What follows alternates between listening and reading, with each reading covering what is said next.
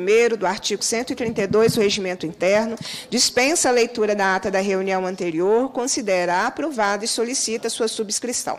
Essa reunião se destina a receber, discutir e votar proposições da comissão e a debater a importância da ciência e inovação e neoindustrialização e o papel da financiadora de estudos e projetos, FINEP, neste campo.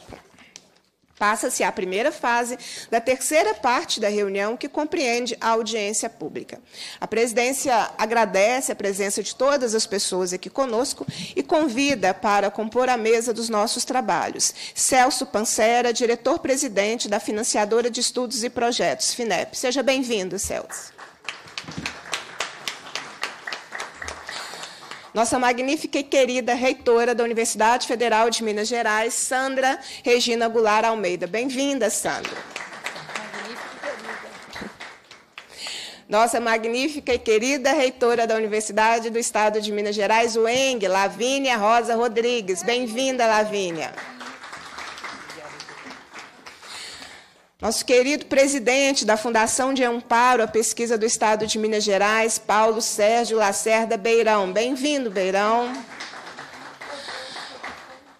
Convidar o diretor-presidente do Parque Tecnológico de Belo Horizonte, Marco Aurélio Croco. Bem-vindo, Croco. Convidar nosso deputado federal, Rogério Correia. Bem-vindo, Rogério quero registrar e fazem parte desse importante momento dessa audiência pública aqui da Comissão de Educação, Ciência e Tecnologia. Estão aqui conosco a Fundação de Apoio da UFMG, Fundep, o analista de prospecção e oportunidades, Lucas Gonçalves Dornelas. Obrigada, Lucas, pela presença. Agradecer a presença da Andréia Mara, a Andréia é representante da PUB-BH e também do Inteligência Coletiva e da SBPC. Bem-vinda, Andréia. Agradecer também a presença do André de Oliveira, que é pró-reitor de pesquisa e pós-graduação da Universidade Federal de São João del Rei. Muito obrigada, André, seja bem-vindo. Agradecer também a presença do Sérgio Almeida Cunha, chefe de divisão de pesquisa e desenvolvimento do Centro de Desenvolvimento de Tecnologia Nuclear. Sérgio, muito obrigada pela presença. Agradecer a presença da Célia Inês, diretora de Cooperação Institucional da Universidade Federal de Minas Gerais. Zélia, obrigada pela presença. Também a presença do Fernando Marcos dos Reis, pró-reitor de pesquisa da Universidade Federal de Minas Gerais. Fernando, obrigado pela presença. Ah, também a presença do coordenador de plataformas tecnológicas da Fiocruz, nossa querida e maravilhosa Fiocruz, Chief Quazélia, na semana passada. Um beijo enorme para a Zélia também. Carlos Eduardo, obrigada, Carlos Eduardo, pela presença conosco. E nós vamos registrando as presenças, dizendo aos nossos convidados que todos farão uso da palavra nessa importante audiência, que é de um iniciativa coletiva do nosso bloco Democracia e Luta. Então, é um requerimento de vários colegas é, para a realização dessa audiência. Dos membros dessa comissão, deputada Beatriz Cerqueira, deputada Lohane, deputada Macaé Evaristo, deputado professor Cleiton e Betão, e também dos demais colegas do bloco, Ana Paula Siqueira, que é presidenta da Comissão de Defesa dos Direitos da Mulher, próprio Betão, que é presidente da Comissão de Trabalho, Celinho do Citrocel, Cristiano Silveira, que é presidente da Comissão de Assuntos Municipais, doutor Jean Freire, que é o nosso líder da minoria aqui na Assembleia Legislativa, Leleco Pimentel, deputada Leninha, que é vice-presidenta da Assembleia Legislativa, e deputado Lucas Lasmar. Então, essa audiência é exatamente esse movimento coletivo do nosso bloco Democracia e Luta. Agradecendo a presença de todas as pessoas, esse semestre nós estamos nos dedicando muito à agenda da ciência, da pesquisa, da inovação. Iniciamos os trabalhos aqui nesse semestre, exatamente debatendo uma importante vacina da UFMG, que foi uma audiência muito relevante, significativa. Na sequência, nós já tivemos uma audiência que debateu a importância dos parques tecnológicos é, aqui para o nosso Estado. Debatemos também, no que se refere às universidades estaduais, a assistência estudantil num debate público, tudo isso realizado um mês, né? Porque nós estamos no segundo mês do semestre, demonstrando aí o compromisso da Assembleia Legislativa através da Comissão de Educação, Ciência e Tecnologia com esta importante pauta. E cada audiência gera novos compromissos e mais trabalho para a nossa Assembleia através da Comissão de Educação. E essa é uma das audiências que eu costumo classificar como propositivas. Nós que fizemos uma longa jornada nos últimos quatro anos de resistência não é? contra a destruição das nossas universidades, contra o negacionismo, contra pelo direito né, à vacina, pautamos muito o debate de vacina aqui na comissão. Hoje nós vamos para uma agenda muito positiva. E que bom né, que agora a gente tem um, um país e um governo federal que constrói, não que destrói. É? Então, a construção vai nos fortalecer enquanto país, enquanto democracia, porque a destruição da ciência, da pesquisa, é, é também a destruição nossa enquanto civilização, enquanto democracia. Então, que bom que a gente tem a oportunidade de construir essa audiência. Eu já quero passar para o nosso convidado, que é o diretor-presidente da Financiadora de Estudos e Projetos, a FINEP. Nós nos encontramos né, no BHTEC, Celso, quando debatíamos ah, inovação e sustentabilidade e tivemos a oportunidade de fazer a construção dessa audiência. Então, já te passo a palavra para as suas considerações. Agradeço muito a presença e a possibilidade de você engrandecer né, a nossa comissão com a sua presença e com os anúncios que fará agora e o debate que nos trará. Seja bem-vindo com a palavra para suas considerações. Obrigado, deputada Beatriz. É uma satisfação estar aqui na UENG. Eu estava lembrando com o deputado Rogério Correia, Rogério Correia que eu estive aqui na inauguração desse, desse auditório em 2017 com o deputado e ex-ministro Mauro, com o deputado Patrus Ananias, o, o Valcler, que era presidente na época. Você era deputado estadual, não é isso? Primeiro secretário. Primeiro secretário, e com o senador, então, o senador é, Requião. Nós vamos aqui um debate sobre soberania nacional. Tá vendo? E foi o dia da inauguração, estava lotada a casa aqui.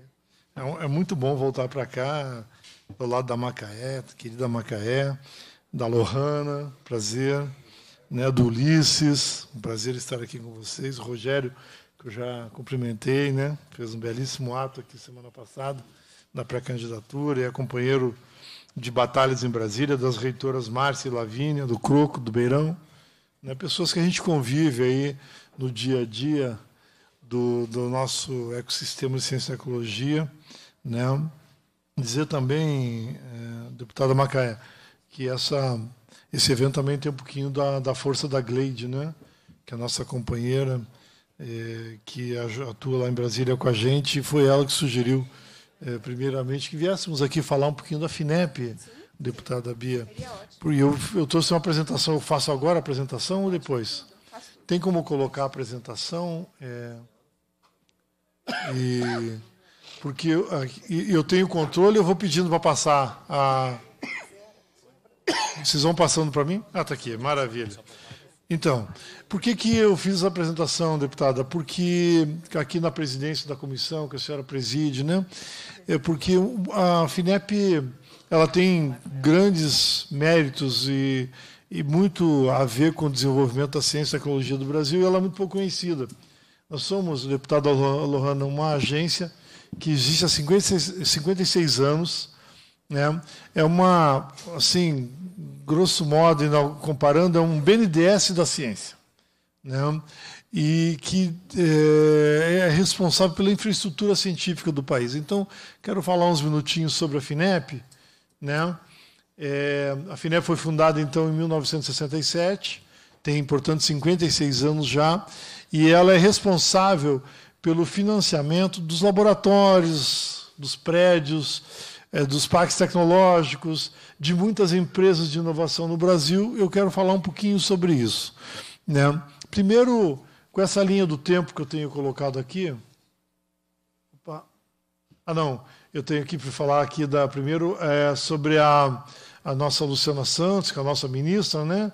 que é lá do lá de Pernambuco, é uma engenheira formada pela Federal de Pernambuco e é a primeira mulher a ser ministra, né, usar o honroso cargo de Ministro e Tecnologia no Brasil, nomeado pelo presidente Lula. Nós temos uma diretoria, além da presidência, que eu exerço né, desde o dia 27 de março. Temos quatro diretores, a Janaina Prevô, é, o Carlos Aragão, o, o, o Márcio Stefani e o Elias Ramos Souza, todos já com longos serviços prestados na área de ciência, tecnologia e inovação. É, essa linha do tempo, que eu é, gostaria que os senhores e as senhoras observassem, é, por que, que eu demonstro muito isso? Porque a primeira universidade brasileira surgiu em 1920, a UFRJ. Então, o nosso ecossistema, nosso ecossistema científico, é, Macaé, é muito novo do ponto de vista histórico, tem pouco mais de um século. E ele hoje é o 14º ecossistema em produção de ciência do mundo. Já foi o 13º, perdemos uma posição nesses últimos anos, em função óbvia da redução drástica dos investimentos do setor.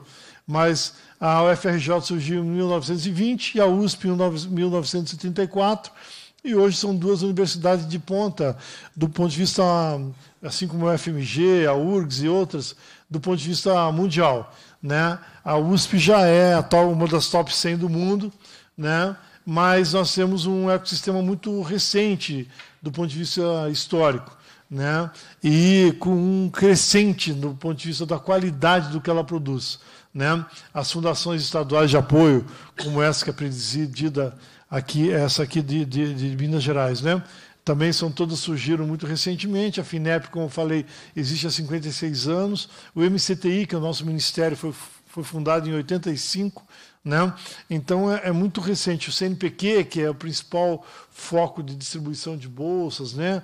é a agência que financia é, a, a, a, grande parte das bolsas de, de, de, iniciação científica e pesquisa no Brasil também foi fundado em 51, então é tudo muito recente. Mas é, mas é um sistema, sistema que tem se consolidado muito nos últimos 20 anos. Né? E o Fundo da Ciência, que é o que nós administramos na, lá na, na, na FINEP, que é o Fundo Nacional de Desenvolvimento Científico e Tecnológico, ele existe, ele foi criado em 1965, portanto, dois anos antes da FINEP, é também muito recente. E ele teve enormes dificuldade para a consolidação e ampliação dele. E em 2021 ele teve uma grande modificação, que ele deixou de ser um fundo só é, contábil, só um lançamento contábil na, no, no, no, no, orçamento da União, para, e passou a ser uma modificação da lei que nós conseguimos aprovar com a oposição atuando muito no Congresso naquela época, e o ambiente científico atuando muito, a reitora estava muito com a gente na época, né, a Márcia. É, conseguimos mudar a lei, que, através da lei, a lei complementar 177, e o fundo deixou de ser só um lançamento contábil para virar um fundo financeiro, como é o FAT. Né? O FAT é um fundo que financia a infraestrutura brasileira. Então, o FNDCT passou a ser, do ponto de vista é, estrutural e institucional, um fundo financeiro. Hoje em dia, ele tem contas no qual ele é depositado, ele tem um estoque de 19 bilhões de reais já depositado dos últimos anos que não foi executado, e esse ano a previsão dele orçamentária é de 10 bilhões de reais e vai realizar um volume maior do que isso. E isso nos faz, ah, nos traz esse gráfico aqui, esse aqui é o gráfico da arrecadação do FNDCT desde, desde 1997. Né? O FNDCT ele é formado por 13 é, fundos setoriais, que são empresas que empregam tecnologia de ponta, quando elas emitem nota, por exemplo, da venda de um computador, de um tablet, de um, de um litro de combustível, né, de produtos na área agrícola, na nota fiscal dessas empresas, uma pequena parcela ela é uma CID que vai compor o FNDCT. Esse ano, essas pequenas parcelas de três setores da economia arrecadarão para o FNDCT mais de 10 bilhões de reais. E qual é a grande novidade que nós temos? Vocês estão vendo que ali tem ah, uma, uma, nas, nas nossas barras, né? o laranja, o verde claro e o verde escuro. O laranja são recursos recolhidos para o FNDCT, mas que os governos não liberaram para a ciência, retiveram esses recursos. Então, vocês podem ver que depois de 2015, 2023, pela primeira vez, nós temos só verde lá no, na, na, barra do FNCT. Por quê? Porque todo recurso está sendo liberado. O valor, uh, deputado Macaé, em laranja é o que os governos retiveram e não liberaram para a ciência brasileira. Por isso que a ciência brasileira ficou tantos anos sem eh, os recursos totais do fundo. E o verde claro são recursos para empréstimo e o verde escuro são recursos que a FINEP libera para projetos sem é, necessidade de retorno para os cofres do fundo, da FINEP. São o que a gente chama de subvenção econômica. São recursos que vão e ficam nas universidades, nos parques tecnológicos e não retornam para a FINEP. E o verde claro são é, recursos que vão para as empresas e depois as empresas retornam para o fundo. E pela primeira vez, então, desde 2015, o FNDCT será totalmente liberado, uma iniciativa a ver com a lei que nós aprovamos e derrubamos o veto em 2021 e com o fato do Lula ter liberado, mesmo não estando previsto no orçamento da União, ele enviou em março de 2023 um projeto de lei para o Congresso, o Congresso Nacional, com o voto do Rogério Correia, aprovou, né, liberando a totalidade dos recursos para a ciência brasileira. E essa aqui é como está a arrecadação do FNDCT esse ano.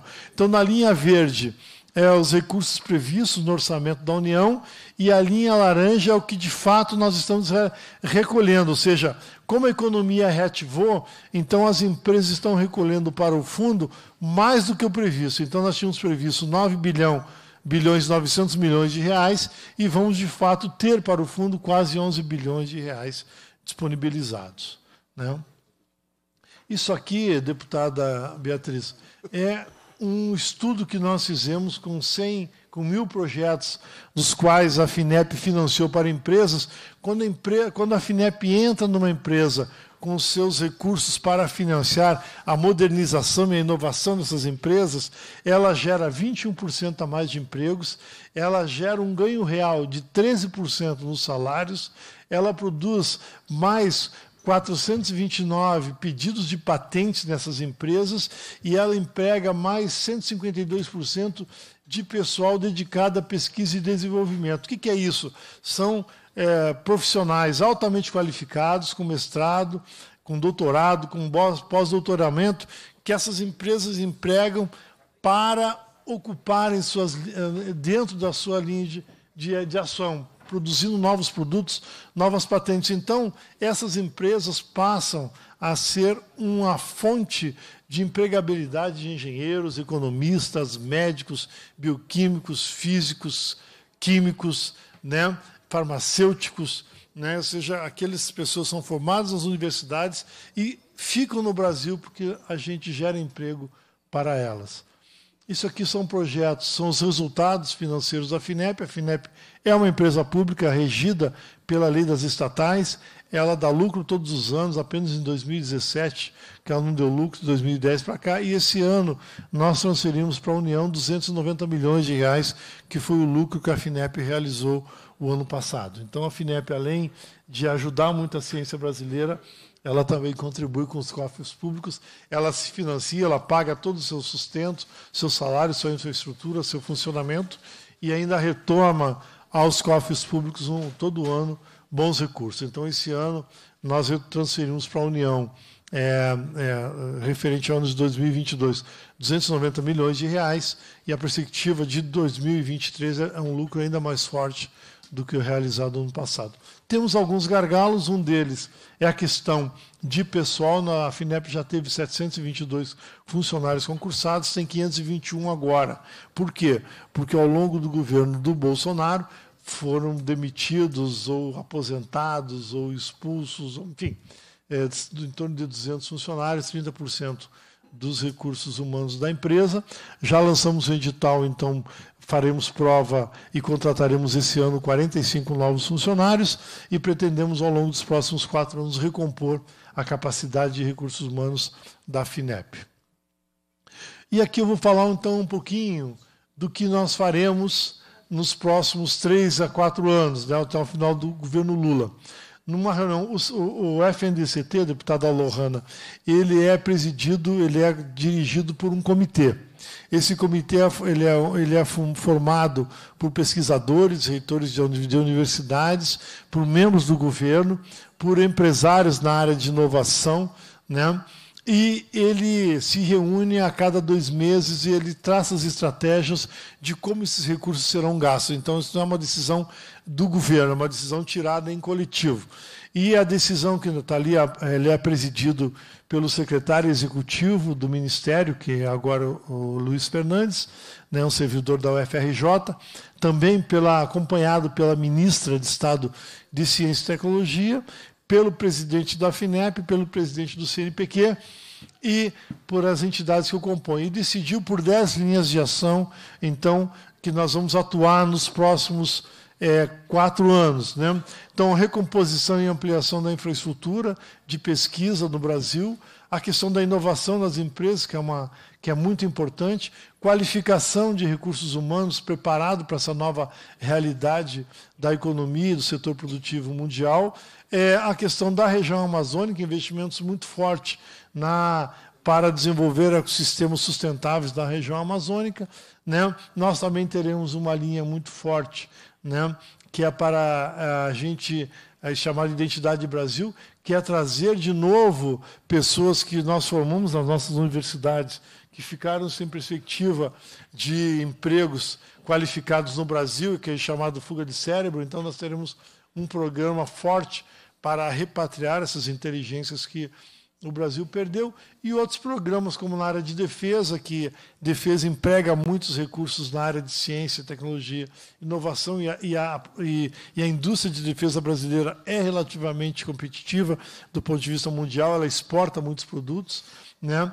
e erradicação da fome e combate e segurança alimentar, que é, no fim do dia, aquilo que nós queremos, que é reduzir a desigualdade social no Brasil e que as universidades têm muito a nos ajudar e nos ajudam nisso.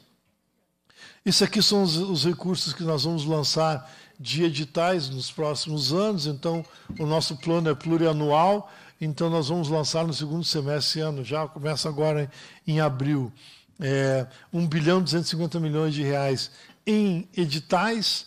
Ano que vem a previsão é de 4 bilhões de reais e 2025 7 bilhões e 400 milhões de reais de editais para as universidades, os centros de pesquisa, os parques tecnológicos, né, que irão é, é, competir e, e a gente vai, aqui nós temos o FMG, boas infraestruturas né, na área, o FMG é uma das universidades que tem infraestrutura boa de pesquisa, a UENG também tem boas infraestruturas de pesquisa. Então, essas universidades participam de editais, os editais são classificados, sendo qualificados, recebem recursos. Né? Então, nós temos já comprometido boa parte do nosso orçamento esse ano, e nós falamos com a reitora Márcia, quando viemos aqui há duas semanas atrás, né? Sandra, estou falando Márcia aqui o tempo todo, a Sandra, né? que é, nós já identificamos 17 milhões de reais de bons projetos da FMG é, e que provavelmente faremos, se não um pagamento de todos eles, uma parte significativa já esse segundo semestre, mas nós estamos levantando, nós identificamos em torno de 1 bilhão e 100 milhões de reais de bons projetos de todo o, o Brasil, né, e que a gente pretende fazer o pagamento ao longo do segundo semestre esse ano. Né? Então, a ciência de fato voltando, como falou o presidente Lula, o Brasil voltou e a ciência também está voltando com muito peso aqui. Né? É o, o Lula é um operário que entende de quão importante que funcione a infraestrutura científica brasileira. E é, é, nós temos aqui são as, os editais dos próximos dois anos, né, em infraestrutura 3,6 bilhões de reais, mais inovação 3,6 bilhões de reais, é, e aí toda a linha de pesquisa, né, que nós vamos lançar num total de aproximadamente 12,7 bilhões de reais editais ao longo desse ano e dos próximos dois anos. Deputado Rogério, nunca a ciência brasileira teve tantos recursos disponíveis né, ah, para a infraestrutura e a pesquisa e a inovação né, é, para o Brasil voltar a ser competitivo no setor. Bom, também quero falar um pouquinho agora é, na área do que a gente faz. Tentando passar aqui, não estou conseguindo. Isso. Isso aqui são algumas das infraestruturas que a gente já financiou. Né? Uh, por exemplo, toda a parte de pré-sal é, que o Brasil hoje é competitivo e ganha muitos recursos disso, foi, for, foram financiados com recursos da FINEP, toda a parte de pesquisa, uma, uma, parte muito relevante. Nós temos ali o projeto Sirius, o projeto Sirius é um, é um acelerador de partículas é, dos mais avançados do mundo, é, na, na, fronteira da ciência mesmo, né? É, funciona lá em, na Unicamp, é, e, e, ele serve para pesquisas de alta qualidade, né? e, e é o único no Hemisfério Sul com essa qualidade, que é financiamento da ciência brasileira, e aquele, aquela terceira imagem, que é chamado reator multipropósito. O que é o reator multipropósito? É um reator de energia nuclear que ele vai produzir os chamados radiofármacos. O que são os radiofármacos? São remédios para ajuda, por exemplo, do combate ao câncer. O Brasil importa em torno de 4 1,5 milhões de doses de radiofármacos do Canadá e da Rússia, e quando importa em torno de 2 milhões e meio de doses, quando esse reator estiver funcionando, ele está numa uma obra do PAC, o Brasil terá capacidade para produzir 4,5 milhões desses testes, né? E eles servem exatamente para ajudar no combate ao câncer e estarão a serviço do SUS de uma forma mais rápida, mais barata, né, a professora Sandra, que atua na área, sabe né, que esses, esses marcadores eles têm uma vida muito curta, de algumas horas, de alguns dias. Então, quando você importa eles, eles são muito caros e muito difíceis de ser utilizados, e sendo produzidos no Brasil, eles poderiam ser facilmente distribuídos para a infraestrutura do SUS no Brasil e ajudarão a salvar milhões de vidas todos os anos. Né? Então, também isso são recursos da FINEP para construir o RMB. Aqui é um pouquinho do que a FINEP faz para financiar a empresa. A FINEP empresta muito para empresas e aí o sistema produtivo aqui do, de Minas tem que estar atento a isso. São recursos que a gente empresta para as empresas. A empresa quer inovar os seus produtos, a linha de produção. Nós temos lá é, bilhões por ano de recursos, né? Esse ano nós temos 5 bilhões de reais para emprestar, é um volume grande de recursos, né? E a gente avalia os projetos e ele, sendo meritório, a gente libera os recursos para esses projetos com carência para começar a pagar de 36 até 48, me 48 meses e a gente empresta para pagar em até 192 meses meses para pagar. E qual é a grande novidade que nós temos nisso? É que agora a nossa taxa de juros é 2% ao ano. Nós estivemos em São Paulo, na Fiesp, lá com o vice-presidente Alckmin e a ministra Luciana, sexta-feira, anunciando. Né? Então, a FINEP empresta agora 2% ao ano, mais a taxa de administração de 2%. Então, o valor nominal do recurso que a gente empresta para a empresa é de 4% ao ano. Vejam vocês, 4% ao ano. Né? E ainda a empresa tem de 36 a 48 meses, deputado Rogério, para começar a pagar esse recurso e até 192 meses para pagar esse recurso. Ou seja, quando uma empresa toma esse recurso da FINEP, ela muda a realidade dela e aqui ela traz aqueles benefícios que eu falei anteriormente, né? e, é, e ajuda muito a gerar bons e melhores empregos. Então, a FINEP, que antes emprestava a 9,9% ao, ao ano, agora está emprestando a 4% ao ano, graças a né, uma mudança na legislação promovida pelo presidente Lula, né? Está aqui o, Roger, o nosso servidor aí de carreira, que é o Godoy, que mora aqui em BH, mas que trabalha com a gente lá em, em, em, no Rio de Janeiro, que conhece bem o sistema e sabe o quanto isso altera a vida das empresas. Então, é, dizer, deputada Bia, que a gente pode procurar aí a FIENG né, e colocar, talvez trazendo o Godoy um FINEP Day para cá, para mostrar essa, esse potencial de financiamento para as empresas que a FINEP tem, para que o setor de produtivo aqui de Minas passe a tomar esses recursos com a gente. Isso aqui são alguns exemplos, né? Eu vou andar, mas aqui nós temos um ah, isso que chamar atenção para isso, né? O Brasil produz, investe muito pouco em ciência, né? Você pode ver Israel, 4% do PIB israelense é investido em ciência, né? A Coreia investe 4% também, o Japão 3 alguma coisa, a Alemanha 3 alguma coisa.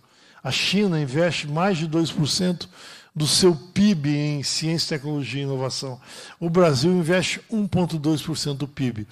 Isso é um desafio enorme que nós temos, que é colocar para a gente ser competitivo e sustentável do ponto de vista histórico, o Brasil precisa chegar no mínimo a 2% do seu PIB em ciência. Então é um, é um esforço enorme.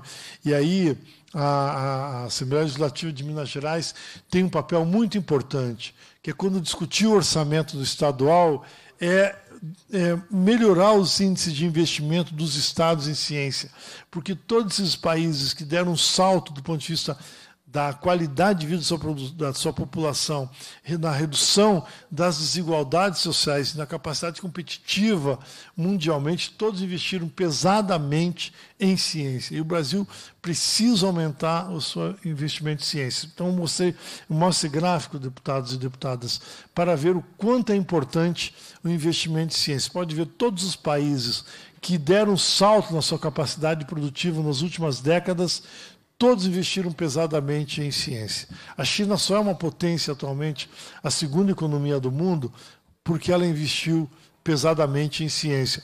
E o Brasil, que é a décima primeira economia, que já chegou a ser a sexta economia, para voltar a ser a sexta ou sétima economia nos próximos anos, precisa aumentar a sua participação no PIB da ciência. E aqui eu apresento algumas pequenas ideias que eu acho que os senhores e as senhoras podem nos ajudar. Primeiro é o seguinte: todo, em todo o país, o maior cliente sempre é o poder público. No Brasil, 15% do PIB brasileiro é compras dos governos estaduais, governos municipais e governo federal. Todos os estados compram muito: remédios, alimentos, uniformes, eh, material de defesa, computadores, sistema de computação. E nós temos que ter nos estados e no governo federal um sistema de compras públicas voltada para a inovação.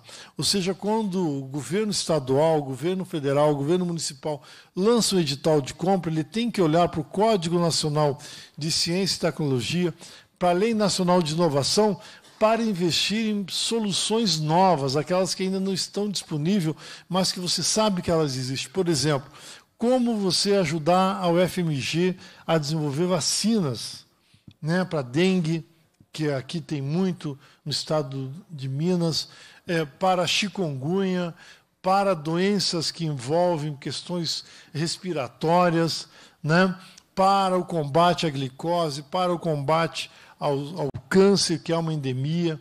Né? Como que o governo estadual pode ajudar ao ENG, ao FRJ, ao ENG a desenvolver produtos eh, que eles podem lançar?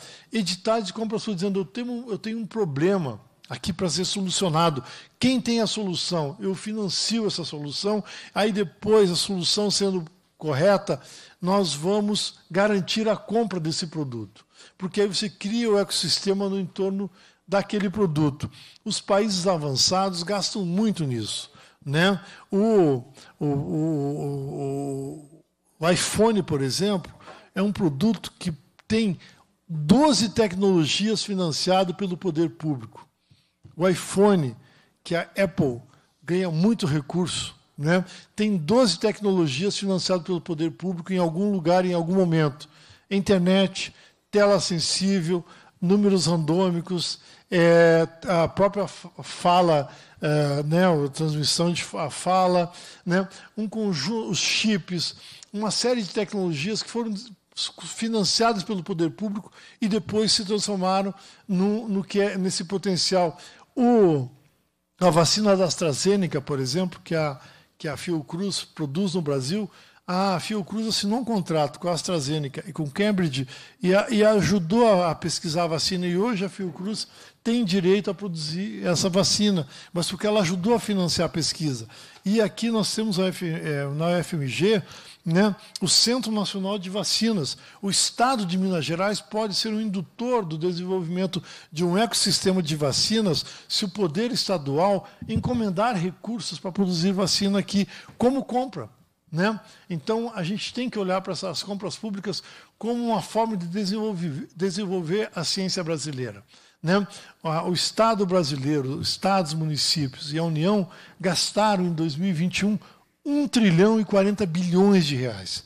É muito dinheiro. Se a gente pegar 2,5% disso para investir em ciência, significa meio por cento do PIB. A gente se tornar quase uma potência em ciência nacional. Né? Então, nós temos essa, essa discussão, existe legislação e a gente tem que olhar para isso. Outra questão que a gente ajuda, aí, deputado Rogério, se pode nos ajudar lá na, na Câmara, está na CCJ da Câmara, é um projeto de lei, 5876-2016, que o Alencar Santana, que é do PT de São Paulo, desarquivou agora, que que, o que, que isso é importante? Fundo Social do Pré-Sal arrecada, vai arrecadar nos próximos 10 anos 620 bilhões de reais. Disso, 37,5% vai para a saúde, 12,5% vai para 37,5% vai para a educação, 12,5%, deputado Macaé, vai para a saúde, 50% disso fica na União formando o resultado primário. Esse projeto propõe o quê? Que 25% desses recursos sejam destinados à ciência. Significaria duplicar o tamanho do FNDCT. E já passou por todas as comissões de mérito do, da, do Congresso, da Câmara, precisa passar no CCJ, e depois ele, não, ele, ele é terminante nas comissões, ele não vai para o plenário. E aí ele pode, ele pode é, ir para diretamente para o Senado. Né? E, por último, a última sugestão que eu, que eu dou, que é uma forma da gente fortalecer o financiamento da ciência, é uma coisa chamada fundos endowments. Né? Opa, eu passei aqui. Os fundos endowments são os fundos patrimoniais. Quando morre uma pessoa que não tem é, herdeiros, quando uma família muito rica quer doar alguma coisa para uma universidade, quando, é, o, enfim, né, existe uma lei chamada 13.800, aprovada, aprovada em 2018 na Câmara e sancionado com vetos pelo presidente anterior, né, permite com que as pessoas doem patrimônio para instituições de pesquisa, os fundos patrimoniais. Só que tem um problema. O que foi vetado é o que permite que ah, essa doação seja abatida do imposto de renda das pessoas. Então, torna pouco atrativa a doação de patrimônio para esses fundos. E por que, que esses fundos são importantes? Quando a gente olha para Harvard, Harvard, quando a gente olha para as grandes instituições de pesquisa americanas, todas elas são fundos patrimoniais. E por que, que elas são uma potência nos Estados Unidos? Porque lá, se você doar seu patrimônio ou parte dele para esse fundo de pesquisa, você abate isso imposto de renda. Então, todos os milionários, bilionários americanos, no final do ano, para pagar menos imposto de renda, eles doam esses recursos. E isso fica nos fundos dessas instituições de ensino. E elas a, aplicam esse recurso no mercado financeiro, mercado de risco, em empresas, e no final do ano elas têm um lucro. E parte desse lucro elas destinam à pesquisa no ano seguinte. Então você cria aí um fundos potenciais para financiar a pesquisa brasileira de uma forma enorme. E esse recurso não, não pode ser desfeito, você não pode se desfazer do, do principal. Você só pode destinar para pesquisa, para projetos, uma parte da lucratividade.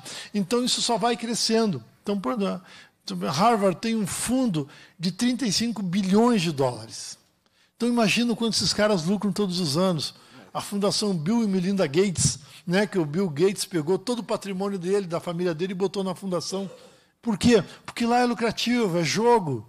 né? Você preserva o teu patrimônio, faz benefício social e ainda abate imposto de renda.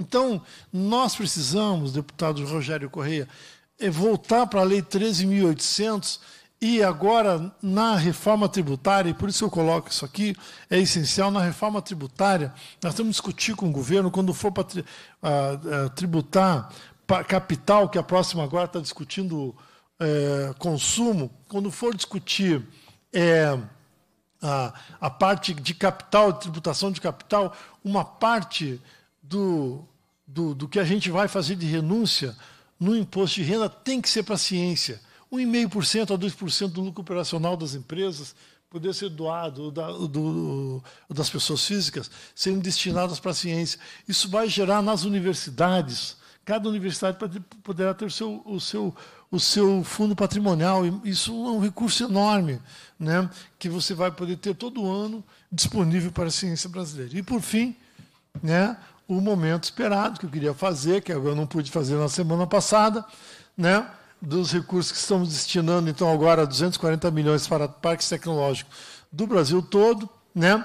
36 bilhões e meio, milhões e meio aqui para três iniciativas do Estado de Minas Gerais. A Universidade Federal de Viçosa, 14 milhões 739 mil reais. O BHTEC aqui da UFMG, onde é que está o Croco? Né? 14 milhões 998 mil reais. E para a Universidade de Lavras, 6 milhões 573 mil reais. São recursos que nós estamos destinando, já estamos fazendo toda a documentação e eu pretendo, em setembro ou outubro, assinar os contratos e liberar os recursos para essas universidades. Então, deputada Bia, esse aqui é o, o nosso mote aqui hoje presente, não só falar de ciência no abstrato, mas realizar né, com um anúncio concreto de 36 milhões de reais para três projetos muito valiosos aqui da, de universidades aqui de Minas Gerais, que são seus respectivos parques tecnológicos. Né? Então, parabéns a essas instituições. Né? Em breve eu pretendo voltar aqui para anunciar para os laboratórios também na área de infraestrutura, mas isso aqui é o que nós temos de concreto já. Já estamos agora é, finalizando as tratativas, assinar os contratos e fazer a transferência dos recursos aí nas próximas semanas. Obrigado pelo tempo que eu falei bastante aqui para vocês. Acho, acho que nós é que vamos dizer obrigada. Não é? É, e eu quero também agradecer todas as instituições que, atendendo o nosso convite, estão presentes. Eu conversava quando nós, é, o presidente Tadeu nos recebeu. É, e agora, aqui pelo Zap, com o novo reitor da Universidade Federal do Vale do Jequitinhonha, dos vales do Jequitinhonha e Mucuri, e perguntava ao Celso o que está previsto de investimento, por exemplo, para lá para os vales, porque a gente tem que reconstruir aquela universidade que foi tão destruída pela, pelo intervencionismo e pelo golpismo. E, da mesma forma, todas as instituições que estão aqui. Perguntávamos também, é possível investimento nas universidades estaduais? E sim, é possível.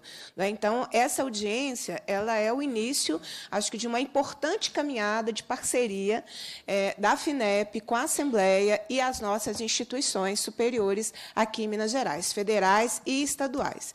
Então, acho que é uma, é, é uma grande parceria política para que nós possamos cada vez mais potencializar, consolidar esses investimentos. E o nosso para casa dos sistemas de compras públicas para inovação, a disputa do orçamento, nós também a trataremos, pessoal, no fórum é, para a construção da política estadual de ciência, pesquisa e inovação, que começou antes da pandemia, foi interrompido e agora o presidente autorizou já a retomada. Então, nós vamos construir essa proposição a partir aqui da Comissão de Educação, Ciência e Tecnologia. Vamos iniciar a, a remodelagem, né, porque serão nove encontros regionais e um grande evento final aqui na Assembleia Legislativa. A perspectiva é que a gente faça isso, é, retome a organização agora no segundo semestre e os encontros aconteçam em 2024. E vamos nos organizar para disputar o orçamento federal também aqui para Minas Gerais. E esse anúncio de 36 milhões já é, como eu disse, né, era uma audiência propositiva. Era propositiva, inclusive no anúncio de recursos federais para Minas Gerais. Eu quero passar as considerações por falar em recursos, por falar em amparo à pesquisa em Minas Gerais ao nosso presidente da Fundação de Amparo à Pesquisa, nosso querido Beirão. Mas antes, Beirão, me permita também, as pessoas que estão nos acompanhando, que toda essa apresentação que o Celso fez fica disponível é, no, no portal da Assembleia, só consultar esta audiência, para que todo mundo tenha acesso às informações, para que a gente ajude a divulgar. Né? A gente precisa virar a chave, que só notícia ruim é que viraliza, né? Só notícia ruim que tem muitas curtidas, não é? é vamos a, essa virada de chave de notícias boas, positivas, que isso ajuda a melhorar o humor do país, gente. Não é? eu, fui no, eu fui em Diamantina na sexta-feira, você olhava assim, você, você, pegava no ar, sabe? Uma felicidade, aquele sentido de a democracia voltou, todo mundo feliz. Celso. Uma felicidade na cidade. É, foi uma posse, foi a transmissão do cargo né, para o reitor, eleito pela comunidade acadêmica, e uma alegria, uma, uma disposição de todo mundo reconstruir a universidade. Aí depois teve uma posse, a, a, a universidade foi abraçada pela cidade, que à noite, na sexta-feira, foi essa posse coletiva na cidade. Então, é sobre isso, né? É, é sobre isso, sobre é, essa perspectiva né, de, de, que o Brasil voltou. Não, não, é um jargão, é real, né, gente? Então, é, você, quer, você quer falar antes, Rogério? Vou te passar a palavra, então, e na sequência o passo para o Beirão. Pode, Beirão, permite? Obrigado, Beirão. Obrigado, Beatriz. Eu pedi para. Porque eu vou para Brasília ainda. Então, nós temos que agora mesmo pegar o, o voo. Bem, eu quero é cumprimentar o Pancer, então, notícia boa dessa, né? 36 milhões para ciência e tecnologia, para Minas Gerais, é uma notícia importantíssima, né? E querer agradecer, né? A notícia dada aqui também na Assembleia Legislativa, na Comissão de Educação, e cumprimentar, então, nossos deputados e deputadas presentes, né? Eu vi o Ulisses Gomes, o Cássio também, que por aqui passou, cumprimentar a Lohana, a Macaé e a Bia, que preside aqui a nossa reunião. As palavras são breves, é mais para agradecimento mesmo, mas real ressaltar, então, Pancero, que eu fico com essa tarefa de conversar com o presidente da CCJ, Rui Falcão, você me manda o número do, do projeto de lei para a gente apressar na Comissão de Justiça e já aprovar, para que ele possa ir para o Senado, né? E vigiar para que ninguém faça, eu acho que não vão fazer, é, uma petição lá para que ele vá ao plenário para já ir direto ao Senado e apressar. Então, fico com essa tarefa.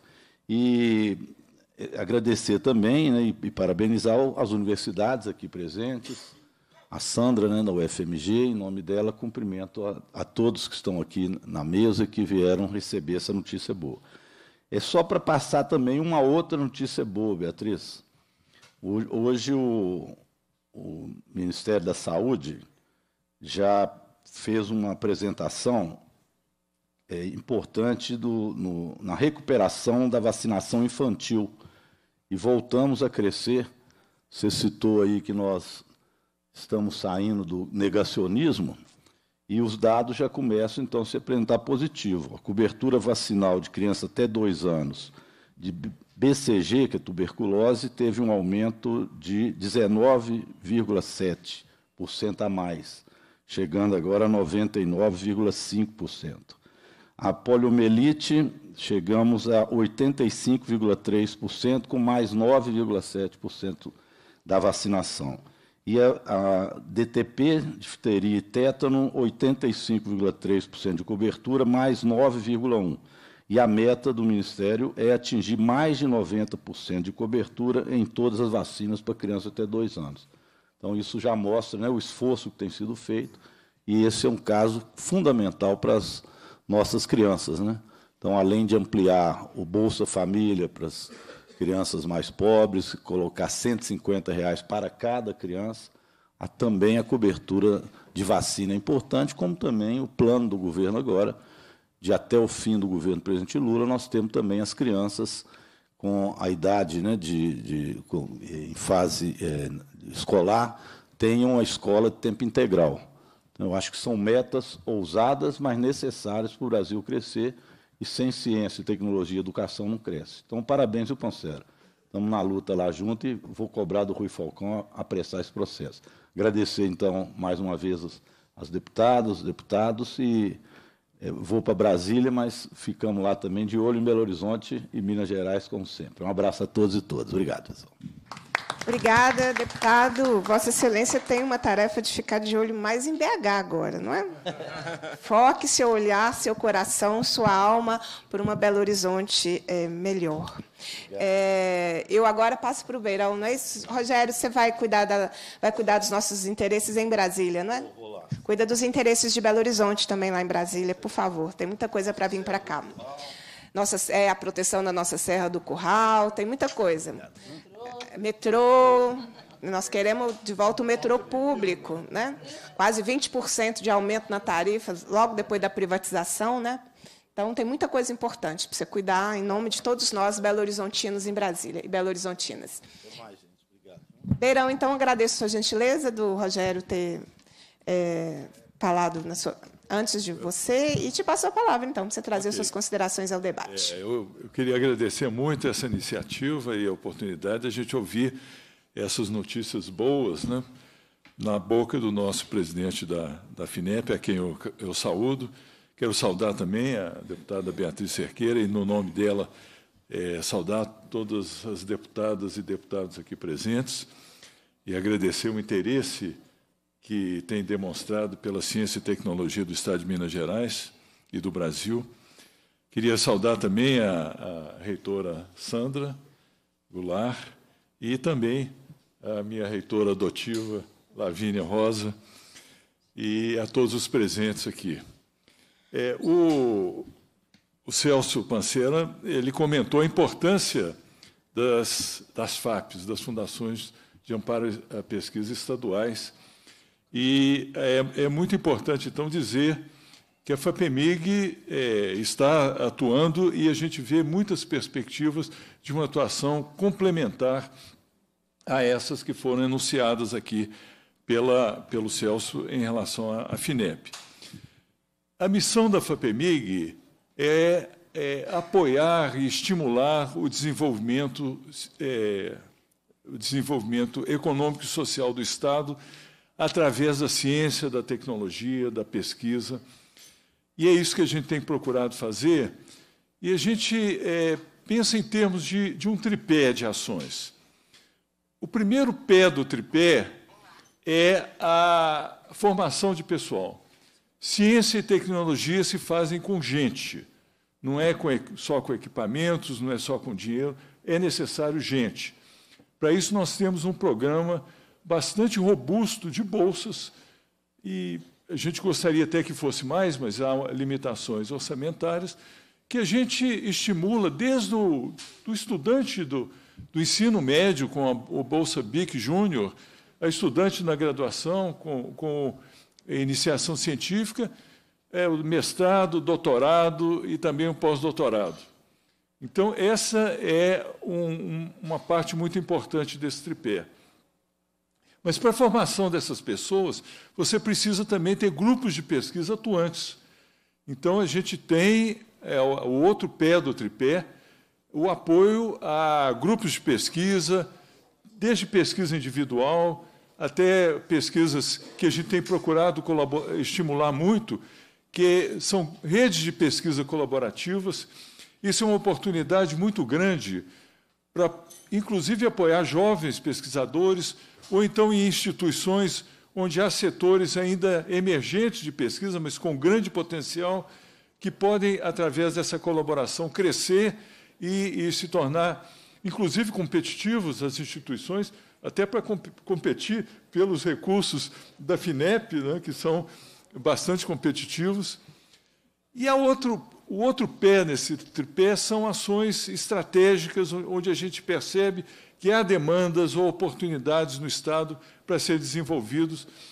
Isso a gente faz até um, um, como o financiamento ele vem do, do recurso do, do, Tesouro Estadual, é 1% da, da renda do, do Estado. Por lei, 40% é destinado para é, ações com, vinculadas a políticas públicas do Estado. Então, a gente procura usar esses, em conjunto com com as secretarias de Estado e também com a sede, a, a qual a gente tem essa vinculação e também com as instituições, né, as universidades estaduais, a gente tem procurado ações estratégicas que realmente permitam o desenvolvimento dessas instituições e, novamente, até torná-las também mais competitivas. Né? Quando foi falado aqui sobre até a, a, o apoio, aí, no caso, a, a três instituições federais, mas elas, as estaduais também podem se tornar competitivas e têm todas as condições de se tornar competitivas para esses recursos federais. É, a outra coisa também que é importante chamar a atenção, que a FAPEMIG ela atua, se a gente pega aquela faixa dos TRLs, né, do, é, da, das tecnologias, a gente procura atuar desde a pesquisa básica, pesquisa aplicada, isso principalmente através de apoio a esses grupos de pesquisa e também a chamada universal, mas também nós temos ações para o desenvolvimento de produtos a partir do conhecimento e das tecnologias geradas pelas nossas instituições. A FAPEMIC, por exemplo, tem uma vitrine tecnológica que ela expõe e nós oferecemos para as empresas que queiram desenvolver, transformar essas patentes que são expostas na, na nossa vitrine tecnológica, a gente apoia, através de cofinanciamento, o desenvolvimento disso em produtos que sejam, então, oferecidos à nossa, é, à nossa população.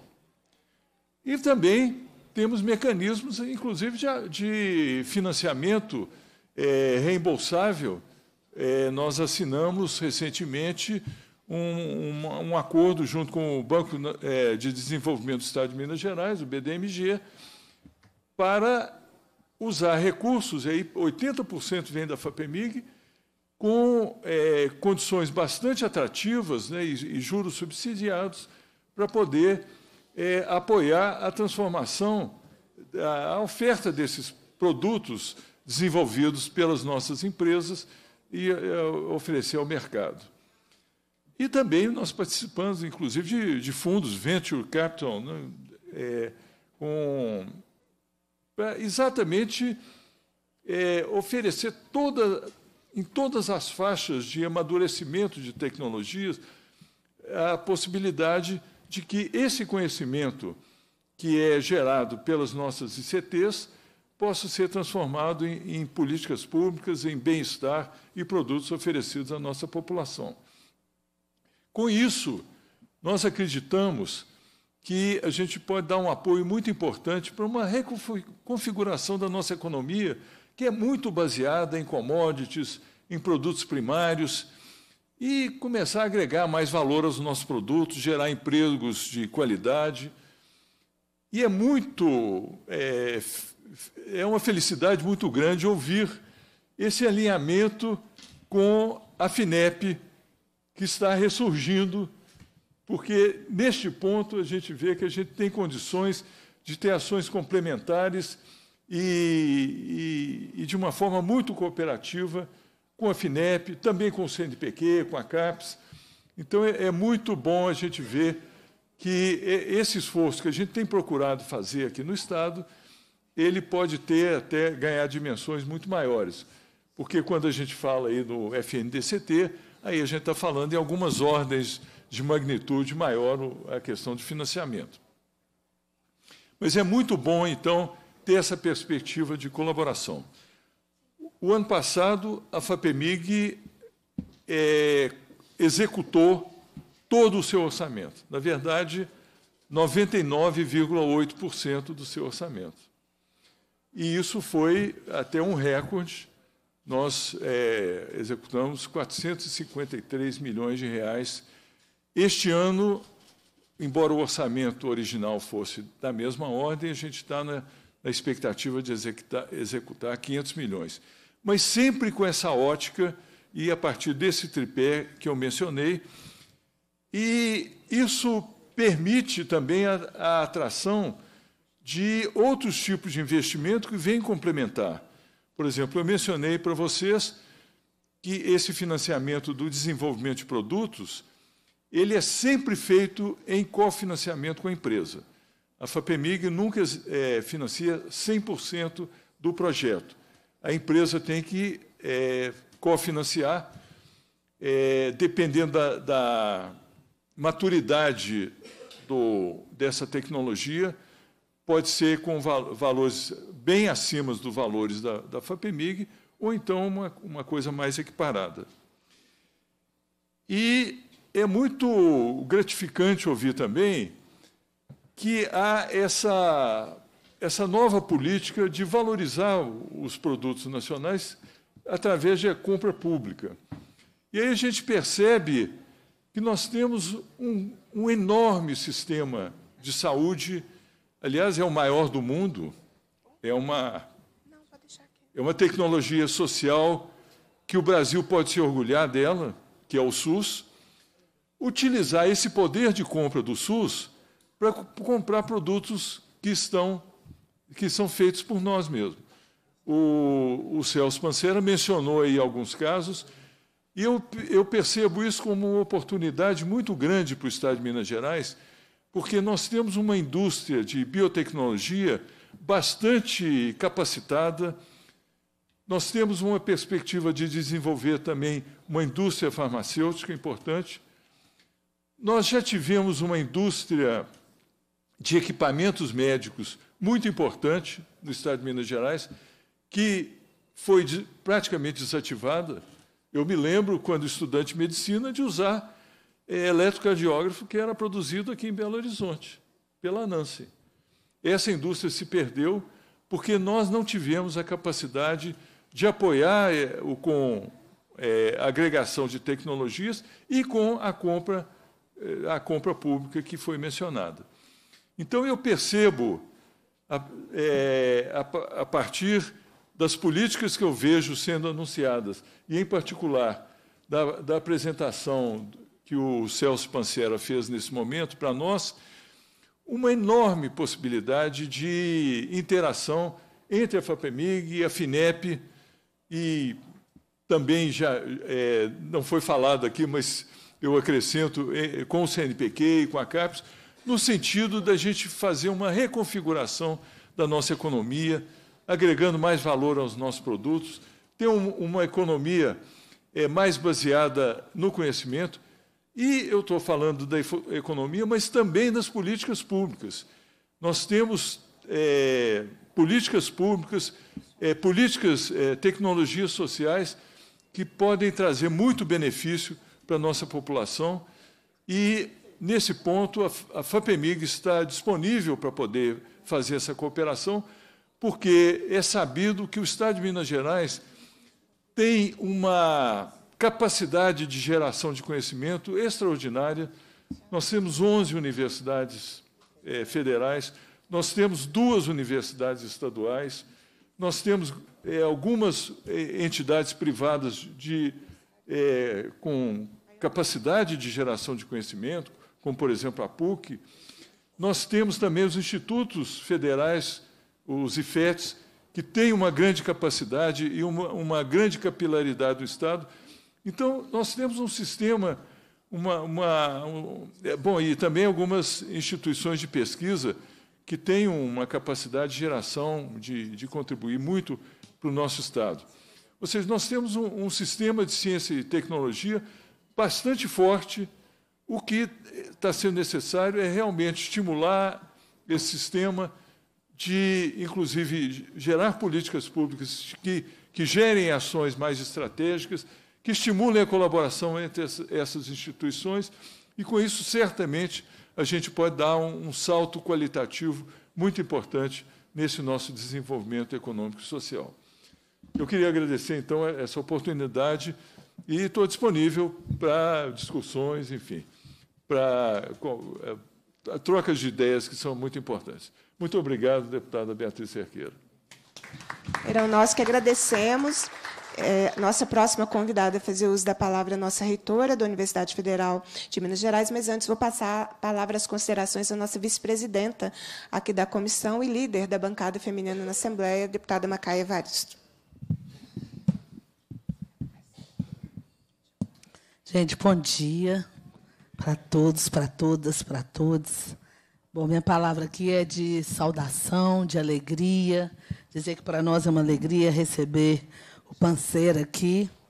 é, não só pela, pelas boas notícias, as boas notícias nos deixam assim bastante animados, mas principalmente porque é muito bom a gente saber que estamos de volta à democracia e a gente sabe que sem ciência, tecnologia, pesquisa, liberdade de aprender e de ensinar, não tem democracia, né? E a gente está recuperando. Então, saudar o Panceira, saudar, o Beirão, nosso presidente da FAPEMIG, aí também companheiro de muitos trabalhos, saudar o Croco, a nossa Sandra, nossa magnífica reitora da UFMG, Lavínia, nossa magnífica reitora da UENC. A gente fica super orgulhoso de poder falar isso, de ter mulheres tão bacanas, tão importantes, com tanta contribuição aí para o nosso Estado, e que foram guerreiras, guerrearam muito, lutaram muito para que a gente pudesse chegar nesse cenário que a gente tem hoje. Então, é, dizer que para BH e para essa Assembleia, para a nossa comissão, é, são notícias muito importantes. É, mas eu queria só que eu tenho que sair um pouquinho mais rápido. Eu queria fazer aqui duas considerações. Primeiro, pensar um pouco, né? Como é que a gente pode, nesses recursos tu, todos dedicados à ciência e tecnologia, a gente pensar também em perspectivas de maior inclusão. É, só para lembrar, com a pandemia, né? nós passamos por mal bocados aí na educação básica, porque nossas crianças da escola pública ainda não têm acesso à inclusão digital e ficaram muito penalizadas. Não é? Então, é, e uma outra questão que para mim é muito importante, ainda pensando nas infâncias, é pensar na acessibilidade. Né? E como é que a gente pode eu já estou falando isso porque eu já pedi aqui para o Panceira que a gente precisa pensar em editais voltados à inclusão de crianças com deficiência, né? das pessoas com deficiência. E quando a gente pensa isso articulado à educação, nós ainda sabemos que essas crianças são aquelas, em sua maioria, fora da escola.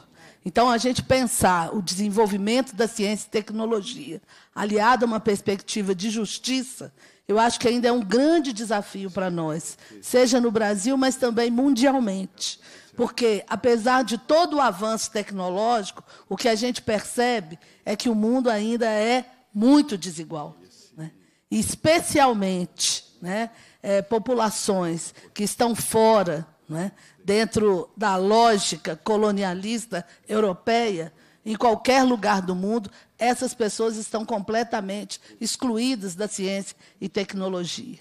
E o Brasil, né, o nosso país, pela sua pluralidade, né, e porque a gente tem hoje no governo brasileiro, que é o presidente Lula, que tem essa preocupação com a superação da fome, com a superação da pobreza, com a inclusão das pessoas, a gente precisa fazer né, com que esses editais, com que essas propostas caminhem e avancem cada vez mais nessa perspectiva de produzir inclusão e de produzir justiça.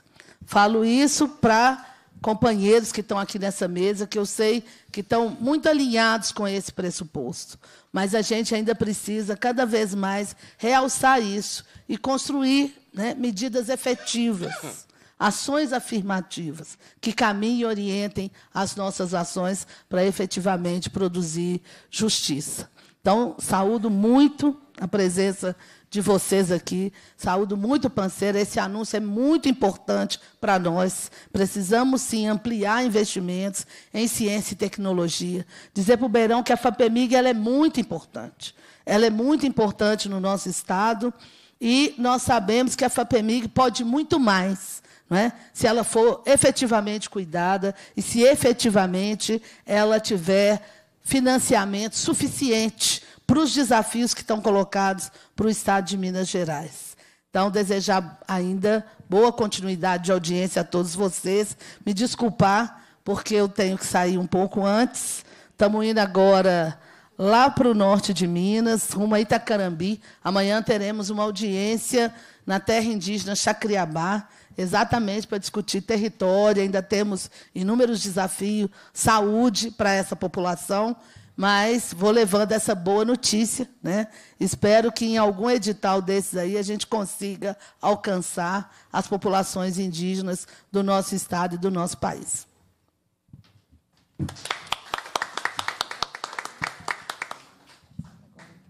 Gente, eu quero aproveitar todo o quórum da Comissão de Educação, Ciência e Tecnologia, nossa vice-presidenta, Macaé, Lohana, que é membro efetiva, me permitam, então, antes de passar a palavra à nossa querida reitora, é, fazer a entrega da nossa homenagem né? O presidente Tadeu me incumbiu de fazê-lo, ele está com um pequeno compromisso agora, mas nós já tiramos a foto lá com ele, então eu vou, ter, se você não se importar, eu farei a entrega, Sandra, então, em nome do, da Assembleia Legislativa, é, e com a nossa comissão aqui, com o nosso líder de bloco, é, com toda essa mesa que está aqui.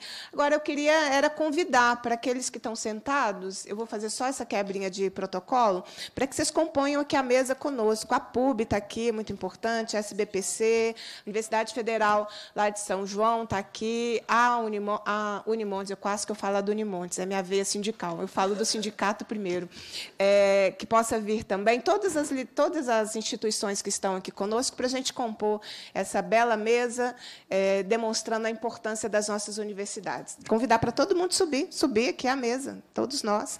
E aí, na sequência, depois da recebida homenagem, a gente passa a palavra à nossa querida reitora, Sandra, e dizendo que desses 96 anos da nossa UFMG, os último período, que foi um período de muita resistência, de sobrevivência e quase que de milagres. Então, deixar o nosso reconhecimento à universidade por tudo que ela faz por Minas Gerais. Não tem democracia sem o fortalecimento das nossas instituições é, de educação. E um reconhecimento também, Sandra, à sua gestão a importância, a articulação, naquele momento quando tentam nos isolar, e foi isso que fizeram né, o governo anterior no último período, vai nos isolando e nos asfixiando. E você teve uma liderança fundamental quando é, furava esse cerco permanentemente, fazendo alianças com a sociedade. E a Assembleia Legislativa foi esse importante ponto é, de aliança. E assim nós sobrevivemos. Né? É, quando você foi, e a UFMG, a tentativa da criminalização né? Ainda eu não estava deputada, se eu não me engano, foi 2017. Né? Assim, a tentativa de criminalização, que foi um, foi um circuito né, de criminalização das nossas universidades e dos nossos reitores, né, que agora, é, agora, depois de termos perdido o cancelier, é que vem a, a União né, e todo mundo dizendo que do que estavam o acusando é, não, era, não era real. E tentaram fazer a mesma coisa com a UFMG. Não é?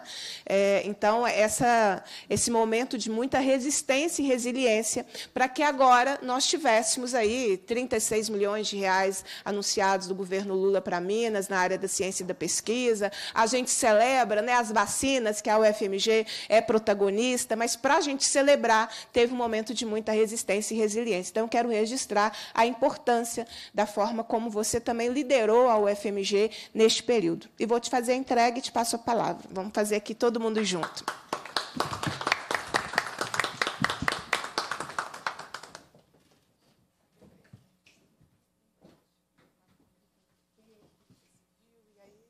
Eu não ia deixar passar.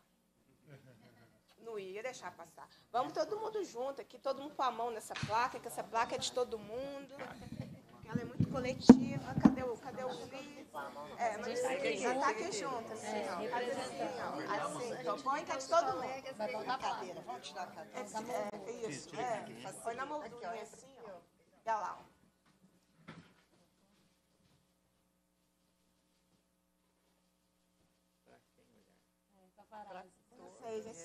Faz assim. Olha pra frente. É. Eu olho pra frente todos que lutem.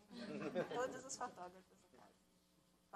O bom de tantos cliques é que em alguma vai estar todo mundo é, de alguma, alguma vai pegar. Alguma vai pegar. Alguma vai. Quem que vai? Deu certo, gente? Não, mais uma. Verdade, né? Ai. Sério que sim. Palmas só disse verdade. Eu só falo verdade nessa semana. Cuidado, cuidado. Acho que a deputada perdeu a nossa, cadeiras assim. E passo, então, imediatamente a palavra é, à nossa reitora da Universidade Federal de Minas Gerais, Sandra Regina Goulart Almeida.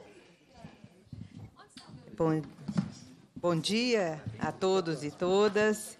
Queria cumprimentar, primeiro, de maneira muito carinhosa, é, os, as deputadas e deputadas da Comissão de Educação, Ciência e Tecnologia, Beatriz Cerqueira, Macaé, Lohane, Ulisses também. É, queria agradecer é, em nome da UFMG, essa bela homenagem, é, numa semana que nós comemoramos os 96 anos da nossa UFMG.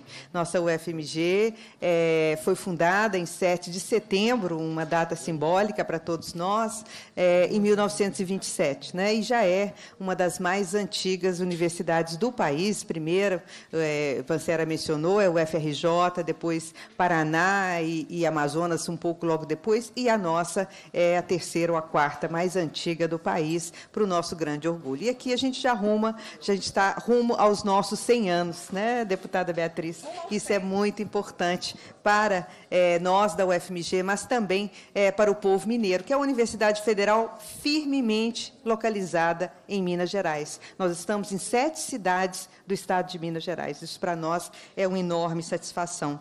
É, queria cumprimentar também a reitora Lavínia e os demais representantes das instituições públicas é, de educação superior do nosso estado. É, Beirão mencionou muito bem, nós somos o estado da federação que mais tem universidades públicas. Isso é um valor inestimável, isso é um patrimônio inestimável do nosso Estado. Eu tenho dito isso aqui nessa casa e com os governadores também, que é, o Estado precisa valorizar essas instituições e fazer uso dessas instituições para o bem do próprio Estado. Né? Então, isso para nós é muito importante, essa, essa, essa nossa ampliação, esse espaço que nós temos, e Minas é, sim, é, um Estado com vocação para a educação, para o conhecimento, para a ciência e tecnologia. Isso é muito importante dizer. Cumprimento também o Croco e o Beirão, muito bom ver a nossa FAPEMIG, que tem é, tido um papel tão importante para o nosso Estado. Estado. E, por último, é, eu gostaria de cumprimentar é, de maneira efusiva é, o presidente Celso Pancera, presidente da FINEP. Ele foi muito modesto, não se apresentou, e eu faço questão de apresentar, porque eu conheço o Pancera há muito tempo, uma pessoa de referência na área de ciência e tecnologia no nosso país. Foi ministro de Ciência e Tecnologia, foi deputado também e foi uma pessoa muito importante nesses últimos anos que nós tivemos. Foi um grande desafio para a nossa é, ciência, é, que foi essa diminuição do orçamento, essa redução do investimento do PIB, um momento muito difícil. Ele esteve à frente de uma iniciativa muito importante do Parlamento, é, ICTP-BR, que ainda continua ativo, é, mas foi, foi iniciado pelo Pancera, ele teve um papel muito importante. Ou seja, nós estamos diante de uma pessoa que entende do sistema de ciência e tecnologia do Brasil, à frente de uma das mais importantes empresas de fomento à ciência e tecnologia. Então, Pancero, queria é, agradecer é, a sua presença aqui mais uma vez em Minas Gerais, ele esteve na UFMG recentemente, né, e dizer da nossa satisfação de tê-lo à frente da FINEP. Isso não é pouca coisa ter uma pessoa que entende tão bem como nós pudemos ver pela apresentação que ele fez. E sabe dos desafios que nós temos pela frente e sabe aonde atuar. Então, um momento é de grande esperança, de grande satisfação de ver é, o que ele nos apresentou e trouxe aqui para a contribuição. Queria dizer é, que, que, o, que o presidente Pancera me chamou de Márcia, mas com muito orgulho. Eu estava dizendo que a reitora da UNB, uma parceira inestimável, é, e nós estivemos muito juntas na luta sobre a qual a deputada Beatriz mencionou. A UFMG e a UNB foram duas das universidades mais atacadas nos últimos anos das mais atacadas. E não é, é, é, por. É, é, e, e, e, são instituições que estiveram à frente duas mulheres que, de fato, lutaram muito, procuraram lutar muito no movimento de resistência. E eu queria aqui agradecer à deputada Beatriz por mencionar um triste episódio da história, não apenas da UFMG, mas de todas as universidades federais. Uma série de intervenções em universidades federais, começou com a URGS, depois foi Santa Catarina, com a morte do reitor Cancelier, é, e depois fomos nós, né, com, com operações, no nosso caso, chamada, é, irônico, só pode ser irônico um título como esse, Esperança Equilibrista, maculando uma, um movimento de resistência tão importante da história do nosso país, uma, uma operação que aconteceu na UFMG e que o ano passado foi todo arquivado, todos os processos foram arquivados, tudo foi devolvido, não foi encontrado nada, e isso realmente é, mostrou não só a força da UFMG, mas mostrou também que a gente tem que tomar cuidado. Isso não se faz com as universidades que são referência, que são patrimônio do nosso país e que merece o respeito é, de todo o povo brasileiro e o povo mineiro. Então, muito obrigada por menção a esse episódio tão triste da história da nossa é, universidade, que a gente espera que jamais se repita. Mas a gente precisa lembrar, é para justamente para a gente não esquecer e relembrar essa história, e relembrar o que nós passamos como instituição. E aqui fica também o agradecimento. A Assembleia sempre apoiou o FMG, sempre se manifestou apoiando a nossa instituição, que é essa referência para o nosso é, Estado. Então, para nós é uma enorme é, satisfação receber essa homenagem é, e a gente quer continuar, deputada Beatriz, deputada Lohane, Ulisses, Macaé, todos aqui, continuar colaborando com a, com, a Assembleia. Nós somos duas instituições públicas a serviço do povo mineiro. A Assembleia teve um papel inestimável durante a pandemia, trabalhou junto com a UFMG e a gente, se chegamos a ter uma vacina 100% brasileira e mineira, é importante dizer, né, é porque a gente também contou com o apoio é, da Prefeitura de Belo Horizonte e desta casa. A Assembleia nos apoiou integralmente, não apenas é, é, facilitando os trâmites, mas também financeiramente. Aqui fica um agradecimento especial é, à deputada é, Beatriz Cerqueira, que, que, que, que repassou uma emenda parlamentar de peso à época, e por isso que nós chegamos aonde chegamos. E falar da minha enorme satisfação de ouvir, de ouvir do presidente Pancera todo esse investimento no Estado de Minas, em especial para o nosso BHTEC. Né? Vai ser muito importante, a gente esperava por esse investimento e também os possíveis investimentos de 17 milhões em projetos da UFMG. Quero dizer que a FINEP tem um papel muito importante é, no, no papel que a própria UFMG tem no Estado de Minas Gerais. Grandes, os nossos grandes projetos em ciência e tecnologia são todos financiados pela FINEP, não é isso? Nós temos nosso pró-reitor de pesquisa aqui, é, professor Fernando Reis, que atesta aí a relevância que a FINEP tem tido ao longo dos anos. Né? É, nós, temos, nós temos um Centro Nacional, de um CETENAN de, de Nanotecnologia e Materiais, é porque nós tivemos o apoio da FINEP é, é, nesse, na construção desse espaço e também no apoio a projetos. CT Vacinas também tem apoio da FINEP, o Centro Nacional de Vacinas, é, temos também o Centro de Microscopia, que, são, que é referência, temos também o nosso laboratório de análise é, é, de produtos é, petroquímicos, que é também financiado pela FINEP, e tem várias, várias outras ações que são financiadas pela FINEP. Então, o, a, a FINEP tem esse papel indutor da ciência e tecnologia, lembrando, como mencionou o presidente, que não só no Brasil, mas no mundo inteiro, se faz ciência com investimento público. Não se faz ciência sem investimento público. E no Brasil, 95% da pesquisa realizada no país estão nas instituições públicas. Isso é importante dizer. Então, é importante, investimento público é essencial para a gente manter essa produção, é, que nós temos um enorme orgulho é, de apresentar o, é, o deputado Reginaldo Lopes, prazer é, em vê-lo e tê-lo aqui conosco. Muito bom.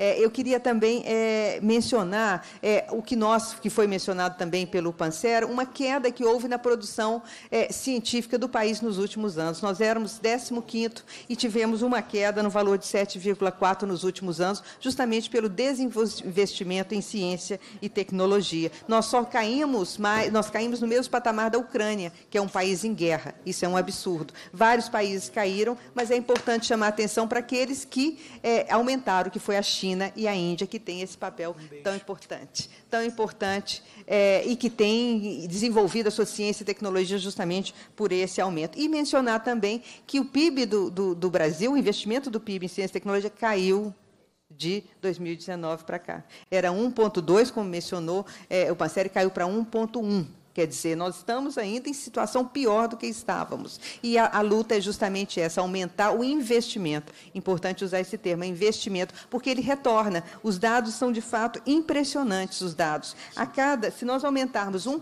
1% é, do PIB é, na ciência e tecnologia, gera um crescimento de 9% do PIB do país. Então, quer dizer, tudo que se investe em ciência e tecnologia, ele retorna. Né? É um valor, todo o valor gerado pela ciência e tecnologia, ele aumenta 3% a 8% o retorno que ele tem para o país. Ou seja, investimento em ciência e tecnologia é importante para o nosso país também. E queria reiterar as várias questões que foram pontuadas pelo Pancera, que é importante a gente é, ter, é, estar atento daqui para frente, não só a Assembleia, mas também o governo. É aumento do PIB, para ciência e tecnologia. Isso vai reverter para nós é, nesse, é, em, em, todo esse arcabouço. A ciência tem que estar de fora do arcabouço é, de limitação é, do arcabouço fiscal. Os senadores até tentaram, mas nós não conseguimos no final. A educação e a ciência está fora, mas a ciência não. E como a ciência que produz e aumenta o PIB, é importante que a gente reitere essa, essa, essa necessária é, intervenção. A renúncia fiscal dos fundos patrimoniais é essencial. Não que os fundos patrimoniais serão é, responsáveis pelo financiamento da instituição, nós sabemos que não, mas é um, um, um valor que pode também nos ajudar né, a desenvolver todo esse potencial que nós temos como instituição. Né? E as compras públicas, sem, sem dúvida alguma, são essenciais. Então, acho que nós estamos juntos, a Assembleia Legislativa tem um papel muito importante é, nessa construção. Né? A ciência voltou, para a nossa grande satisfação, é a fala da ministra, e a gente se, tem sempre reiterado essa importância, e a gente tem que estar junto. E a UFMG, nesse seus, do alto dos seus 96 anos, a mais antiga universidade do Estado, é, está sempre a serviço desta casa, da Assembleia Legislativa, do governo federal, do governo estadual, do poder público, porque o nosso interesse é justamente atender às demandas da sociedade. E é por isso que a gente faz ciência com tanta seriedade. A ciência ela tem que estar voltada para a produção de conhecimento, mas também e também para atender às demandas da sociedade. Muito obrigada. Um momento muito especial para a nossa UFMG hoje, aqui na nossa casa, que é a Assembleia Legislativa de Minas Gerais. Muito obrigada a todos os deputados e deputadas e ao presidente Pancera, que nos honrou hoje com essa fala. Muito obrigada, Sandra. O UFMG que nos honra, é o nosso orgulho mineiro. Então, gratidão por tudo que a UFMG faz e pela sua gestão à frente da Universidade Federal de Minas Gerais. Nós vamos, antes de ouvir nossa reitora da Universidade do Estado de Minas Gerais, nós vamos ouvir a nossa deputada, membro da Comissão de Educação, Ciência e Tecnologia, deputada Lohana.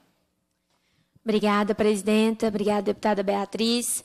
Queria cumprimentar com muito carinho o Panceira, que está aqui hoje trazendo tão boas notícias e trazendo a pauta positiva de volta para o debate para os holofotes. Como é bom recebê-lo, ainda mais num contexto assim.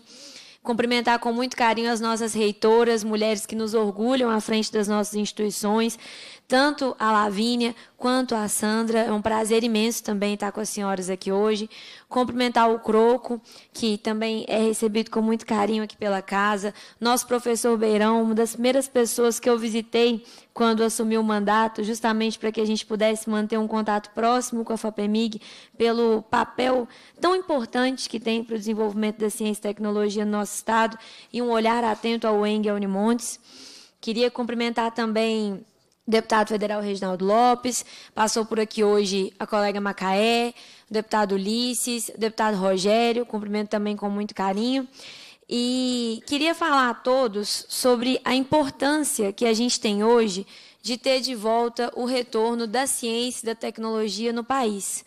Fiz um tweet agora, Beatriz, e fui buscar uma foto do Lula com atrás aquele escrito do Brasil voltou e a ciência voltou, e é uma foto muito linda, porque você vê que a plateia está cheia de gente é, que, que é cientista, que é acadêmico, que está envolvido com a pauta, está todo mundo muito, muito, muito feliz. A foto, como a Beatriz falou, dá para pegar a felicidade no ar da foto e a perspectiva de que a gente voltou a reconstruir o investimento em ciência e tecnologia no país e voltamos a reconstruir o investimento em ciência e tecnologia com uma forma atenta para que a gente tenha, de fato, uma perspectiva de investir nos pontos certos, uma perspectiva de investir onde a gente realmente precisa Então, eu acho muito importante ter aqui uma perspectiva de longo prazo que o Pancera trouxe. Então, a gente está investindo tantos esse ano, a partir do ano que vem a perspectiva é 4 bilhões, a partir de 2025 a perspectiva é 7 bilhões, e a gente tem uma perspectiva de disputa dentro do orçamento público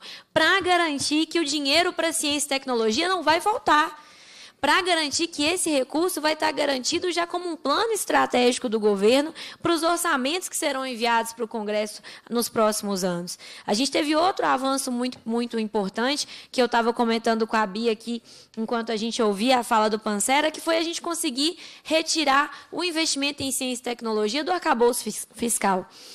Garantir que esse investimento está fora do arcabouço é garantir que, independente de como a economia caminha, a gente espera e está vendo que vai caminhar bem, já que o ministro Fernando Haddad, junto com a sua equipe, tem trabalhado com competência, mas que, independente dos índices econômicos que a gente venha viver, o investimento em ciência e tecnologia está garantido. E não está garantido porque a gente acredita que tem que proteger os acadêmicos ou que tem que proteger os alunos. Não é sobre isso. É porque a gente acredita que o investimento em ciência e tecnologia é fundamental, inclusive, para o arranque econômico. É fundamental, inclusive, para o desenvolvimento econômico. Então, é importantíssimo proteger cada real que está previsto para ser investido em ciência e tecnologia, respeitando esse recurso como um recurso fundamental para o desenvolvimento econômico econômico do nosso país. E foi exatamente nesse sentido que o presidente Lula e o vice-presidente Geraldo Alckmin falaram no artigo em maio que eles fizeram para o Estadão.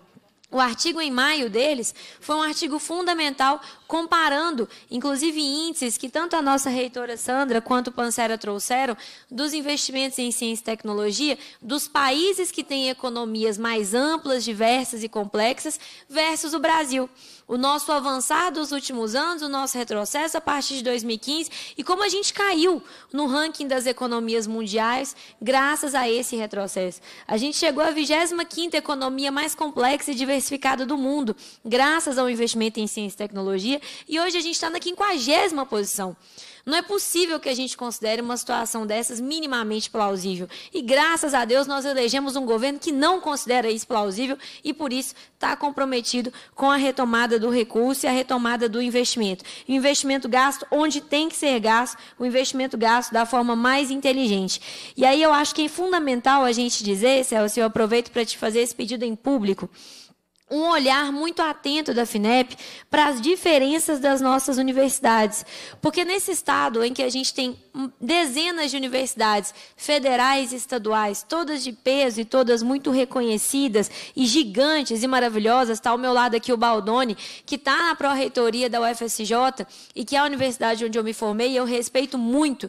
A gente tem universidades como a UFSJ, com pouco mais de 30 anos, e universidades seculares como a UFMG, com 100 anos anos batendo a porta. Então a gente precisa apoiar e cuidar desses dois perfis diferentes, atentos às diferenças entre esses perfis. Então, da mesma forma que a gente pede que a nossa reitora Lavínia tenha um cuidado especial com os campos mais novos da UENG, a gente sabe que ela tem esse cuidado, a gente precisa pedir também que o Beirão tenha esse olhar do ponto de vista do financiamento e que a FINEP tenha esse olhar do ponto de vista do financiamento. Já que, com certeza, universidades mais antigas enfrentam desafios diferentes dos desafios desafios enfrentados pelas universidades mais novas. Então, a gente ter esse olhar é muito importante e fundamental para garantir que o recurso vai ser distribuído de forma equitativa e de forma atenta às diferentes necessidades. E eu tenho certeza que a FINEP tem esse olhar, mas eu quis dizer de público para tornar para todos é, público e claro essas diferenças que a gente não pode fechar os olhos e deixar de se atentar. Também dizer que eu fico muito feliz com a questão do Proinfra e com a perspectiva dos investimentos na nossa rede laboratorial, Pancera. Porque a gente tem universidades que fizeram grandes compras de equipamentos e essas compras de equipamentos praticamente paralisaram nos últimos seis anos. Então, a gente tem equipamentos como, por exemplo, um citrômetro de fluxo, que ao longo dos anos perdem e perdem mesmo a sua capacidade. Perdem e perdem mesmo. E os laboratórios dos outros países estão entregando gráficos e resultados cada vez mais sensíveis, com cada vez mais com cada vez mais precisão E a gente, com equipamentos de 2012, de 2014, que à época eram os mais espetaculares, mas hoje não são mais, a gente não consegue entregar resultados dessa forma, por mais qualificado que seja o nosso corpo de pesquisadores. E eu gostei muito que o Beirão citou, desde o pesquisador da iniciação científica até o pesquisador, professor, doutor, que já é concursado na instituição. Então, a gente garantir esse cuidado à nossa rede de laboratórios e aos equipamentos, com um olhar específico para as universidades menores e mais jovens, vai ser muito importante para que a gente consiga entregar a ciência de ponta e contribuir como as universidades querem e podem para o desenvolvimento econômico e científico do nosso país e do nosso Estado. A questão que a, Duda, a Bia falou do investimento e do dever de casa em relação às compras públicas é muito interessante, porque é algo que a gente pode pensar em como que o Estado pode, de fato, gastar dinheiro com aquilo que é uma solução tecnológica e é aquilo também que fortalece e fomenta a pesquisa feita dentro das universidades. É a segunda audiência pública, Maldoni, que eu falo sobre a insumo do Paulo Grangeiro. A gente tem pesquisas científicas e empresas incubadas dentro de universidades que conseguem entregar soluções muito baratas, ambientalmente responsáveis para os estados e para o Brasil, e elas não recebem um real de incentivo público fora das agências de fomento, enquanto compra pública, enquanto tendência de entender que aquilo é importante. Então, a gente tem, por exemplo, essa empresa em sumo que consegue atuar dentro da saúde pública, evitando contaminações e evitando a adesão de biofilmes bacterianos e resolvendo grandes problemas de hospitais, inclusive hospitais públicos. E a gente tem também uma possibilidade de tratamento dentro do saneamento, tirando o petrolato da composição, fazendo com que seja é, ecologicamente responsável e sustentável. Então, a gente tem todas essas possibilidades e a compra pública é um baita de um indutor para o desenvolvimento. Então, é algo que, de fato, eu reitero as palavras da deputada Beatriz. Fica como dever de casa para a gente, agora nessa organização que estava pausada, mas retoma também. Então, para finalizar, é apenas agradecer, Pancera, por esse cuidado com Minas Gerais, parabenizar também a UFMG pelos seus 96 anos de existência, na pessoa da nossa reitora Sandra, e estendendo esse carinho a todos os professores, técnicos, alunos, servidores terceirizados, todos, todos, todos da UFMG, que carregam com tanto carinho e que nos orgulham tanto o nome da Universidade Federal de Minas Gerais por onde vão. Aqui na Assembleia de Minas, esse lugar que o Pancero escolheu para anunciar esses quase 40 milhões de reais investidos em ciência e tecnologia, tem uma casa muito aberta para o governo federal, muito aberta para todos aqueles que quiserem trabalhar junto com o professor Beirão, junto com a nossa reitora Lavinha, junto com a Comissão de Ciência, Educação e Tecnologia, para que a gente consiga fortalecer essas áreas no nosso Estado. A gente está caminhando, mas é de mãos dadas com a FINEP, com o Ministério da Ciência e Tecnologia e com o governo federal que a gente vai caminhar mais rápido e melhor. Obrigada, presidenta. Obrigada, deputada. Lavínia, antes de passar a palavra, permita que o deputado Reginaldo Lopes nos faça uma saudação. Deputado Reginaldo Lopes, obrigada pela presença e te passo a palavra, então, para sua saudação. Eu que agradeço, deputada Bia Cerqueira, pela realização desta audiência pública, tão importante para o futuro de Minas e para o futuro do Brasil. Então, parabéns pela iniciativa. Quero aqui cumprimentar só as meninas aqui da mesa para ganhar tempo. Reitora Lavinha, reitora Sandra, Lohana. É, quero, em nome delas, cumprimentar o Pancera, nosso convidado, nosso presidente, desejar ótimo trabalho, sucesso nessa empreitada, dizer que, de fato, o Brasil tem passado por grandes mudanças e os principais avanços é fruto de investimentos públicos na ciência e nas pesquisas. Então, é só olhar como o Brasil desponta nesse modelo de produção de energia. Somos uma potência, temos uma matriz que pode ser um exemplo para o mundo do ponto de vista de transição energética, mas também temos aí várias áreas avançando muito, como é, a nossa capacidade de produção de alimentos, que contou muito com pesquisa, Embrapa, IPAMIG, que sempre tem feito uma atuação extraordinária nesse campo para agregar valor, para agregar conhecimento, e com certeza o Brasil depende muito nessa próxima década de grandes investimentos, porque, felizmente, né, o Brasil envelhece e vai envelhecendo mais rápido que todos nós imaginávamos. De fato, o país perdeu o bônus demográfico e, portanto, cabe agora recuperar. E para recuperar a nossa eficiência econômica, eficiência produtiva, é necessário uma compreensão do papel extraordinário da pesquisa e da ciência e da extensão nesse processo. O Brasil terá que ser muito mais eficiente. Por isso que é correto de usar uma nova industrialização do que uma reindustrialização.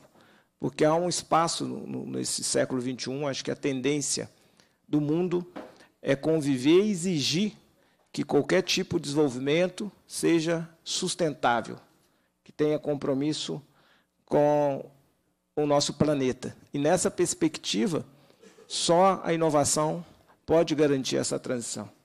Então, nós temos aí grandes pesquisadores.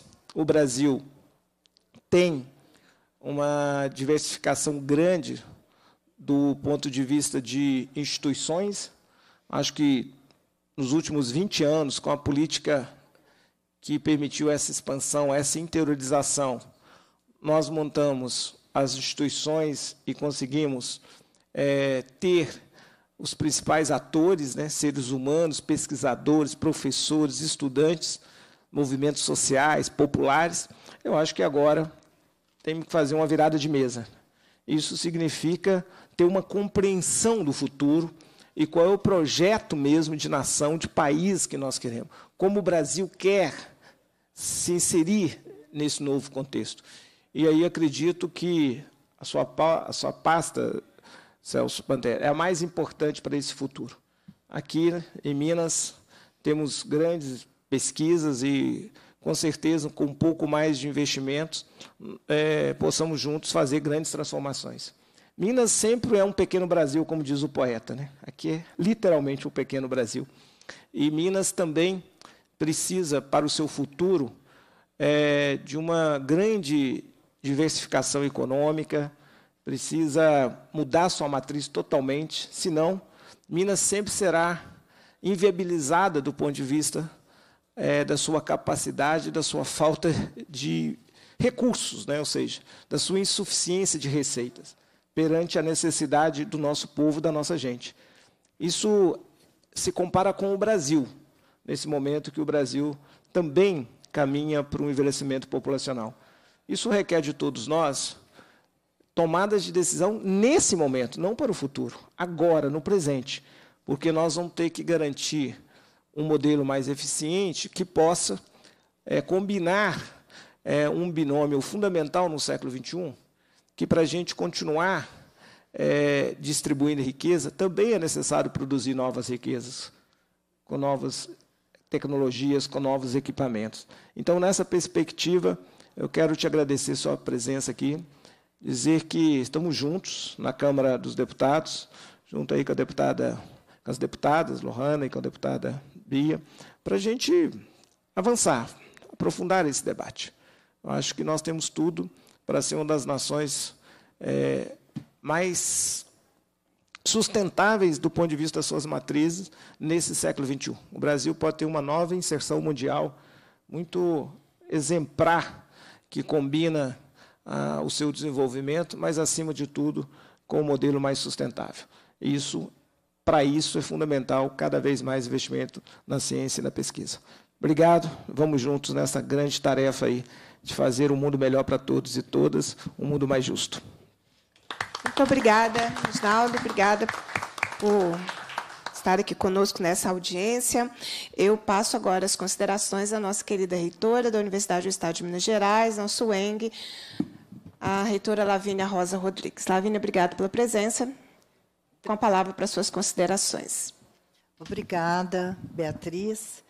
É, Quero aqui registrar meus cumprimentos, de vez em quando eu esqueço de citar todos, ao deputado Reginaldo, que nos honra com a presença, à deputada é, Macaé, que esteve aqui conosco, ao deputado Ulisses, à deputada Lohana e à deputada Beatriz, presidenta da Comissão de Ciência e Tecnologia, que tenho certeza, as palavras que vou usar aqui, ela representaria, ela representa o desejo, o agradecimento de todas as universidades. Nós estivemos no mandato anterior, né, muitas vezes aqui na Comissão de, Ciência, de Educação, Ciência e Tecnologia, inclusive, né, cumprimentando aqui o nosso doutor honoris causa lá da Unimontes, que hoje, amanhã receberá esse título, professor é, Beirão, que, e também ao, ao Croco,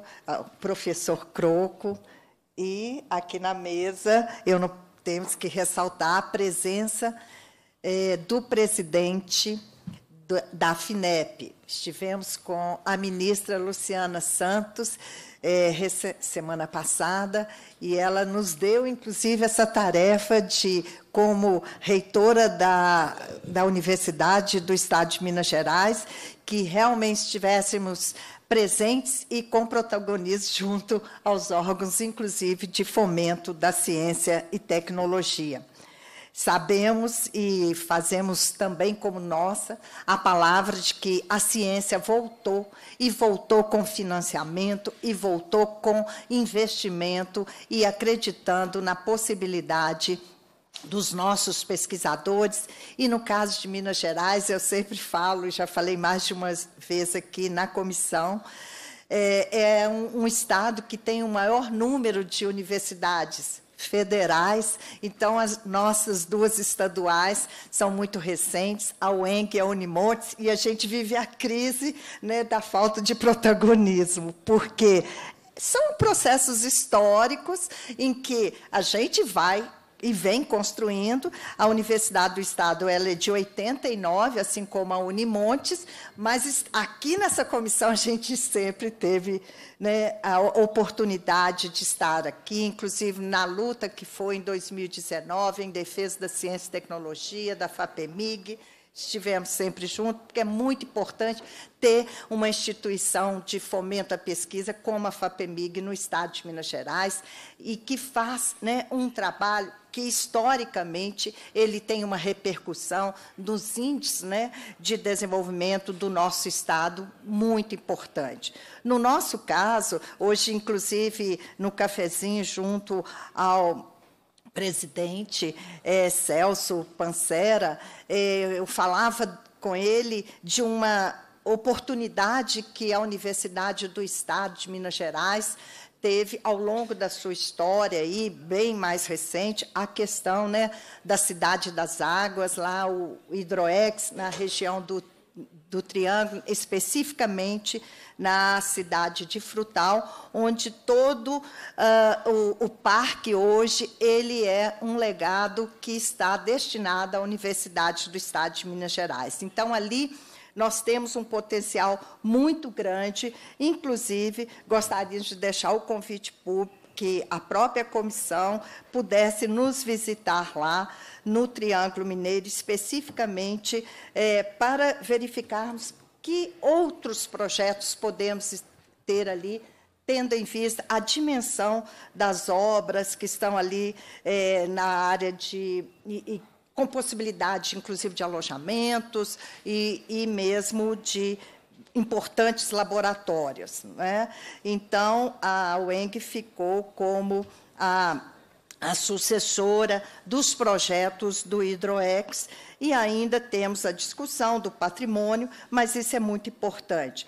Eu não, não é, poderia deixar de dizer que estaremos, sim, né, incentivando e estimulando os nossos professores, quer seja dentro dos seus projetos individuais, em projetos articulados com a, a Unimontes e com outras universidades é, aqui, é, e que hoje nós temos dois grandes, importantes projetos, já lá na região do Triângulo, que é, nós estamos no desenvolvimento de um projeto cujo financiamento é de 17 milhões de reais, é, recursos próprios da Universidade do Estado de Minas Gerais, em que o estudo ele está diretamente relacionado a, aos produtores de abacaxi e o e a unidade frutal também possui pesquisadores que estão é, estimulando né, o estudo em relação à produção do vinho e da própria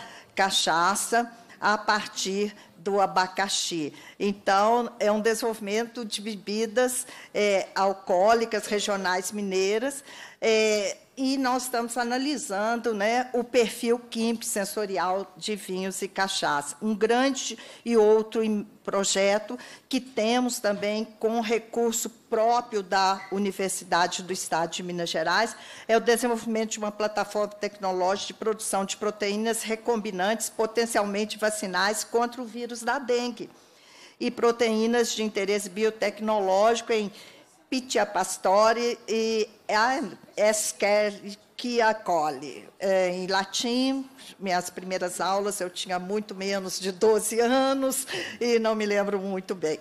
E também um projeto de cerca de 15 milhões. Mas é, a FINEP também é, financia projetos da Universidade do Estado de Minas Gerais. Uma questão aqui muito importante da nossa universidade é o design e design de prótese. Ainda somos, somos uma, uma economia baseada no famoso minero, eh, setor mineral, mecânico, siderúrgico da indústria pesada, que era a indústria do século passado, não era a indústria do conhecimento igual nós temos hoje. E eu acho importante, é, porque essa é uma contradição. Essa é uma contradição entre é, esse, essa capacidade de produção científica e formação de mão de obra e, e, a, e essa estrutura industrial que nós temos. E eu acho que é, é, tem um problema, por que isso ocorre, que é, no meu entendimento, a falta de políticas perenes de diálogo entre o setor produtivo e o setor industrial. Falta de políticas perenes. É, e aqui, por isso que eu estou considerando extremamente importante esse debate aqui na Assembleia, está vindo aqui pela segunda vez, porque é necessário que o Estado consiga formar um arcabouço institucional e legislativo que permita que esse diálogo se torne é, permanente. E, nesse ponto, os parques tecnológicos e os ambientes de inovação desempenham um papel fundamental. Né? É, não, se não, se transforma a patente e a nota fiscal de uma hora para outra. É um processo onde você tem que ter um processo de desenvolvimento ainda muito grande. Um paper publicado, uma patente depositada, não garante a entrega no setor produtivo. No, no setor produtivo. E por isso que os ambientes de inovação, não só os parques tecnológicos, é, mas também as incubadoras, as aceleradoras que têm contato com a universidade, que são colocadas nesses vários ambientes, é importante o papel que eles desempenham para trazer o o, o, desenvolvimento do Estado. Então, por isso que eu estou aqui particularmente feliz com essas duas é, é, perspectivas. Um, a Assembleia, segunda vez em pouco tempo, está aqui, a Assembleia está tomando a iniciativa de tentar ajudar naquilo que é a função dela, de montar um arcabouço é, é, legislativo que permita que essa, continua, que essa política seja feita de uma forma contínua. Segundo, sem dúvida nenhuma, está aqui muito feliz porque ser um agraciado dessa retomada de financiamento na FINEP. Quando o Pancera foi lá na, no BHTEC, há dez dias atrás, né, parceiro? A gente brincou, né? Não podia anunciar, né? A gente falou, vai chover na minha horta, parceiro? Não, choveu na minha horta. Finalmente choveu na minha horta. É, mas é, é, e é o importante, como eu disse lá, o, na UFMG e no BHTEC, o Pancera foi a terceira autoridade do governo federal que veio à universidade, ao Parque Tecnológico. Nós já tínhamos recebido a ministra Luciana, já tínhamos recebido a ministra Nilza, é, é, Nils, e agora o Pancera. Isso muda muita coisa, como já foi dito aqui finalmente a gente passa, volta a fazer evento para pensar o futuro, não evento para resistir à destruição do passado. Essa é uma grande diferença que está acontecendo aqui e, particularmente, eu estou aqui muito feliz é, e aí de estar tá recebendo esses recursos. Né? É, o BHTEC, nós estamos num processo, ele é um instrumento é, de, trazer desenvolvimento para o Estado. Só para dar uns dados aqui, nos últimos quatro anos, 2017 a 2022, mesmo com essa toda período, não vou nem classificar aqui como é que foi esse período de resistência, de distribuição, o parque conseguiu, por trabalhar com ciência, por trabalhar com inovação, resultados que são significativos. Nesses 2017 a 2022, foram 350 novos produtos ou serviços desenvolvidos ali dentro do parque tecnológico. Foram entre é, empresas ali alocadas e os centros de P&D da universidade, 54 pedidos de patentes depositadas. Foram criadas 19 spin-offs, spin empresas que são oriundas das empresas que estão lá dentro.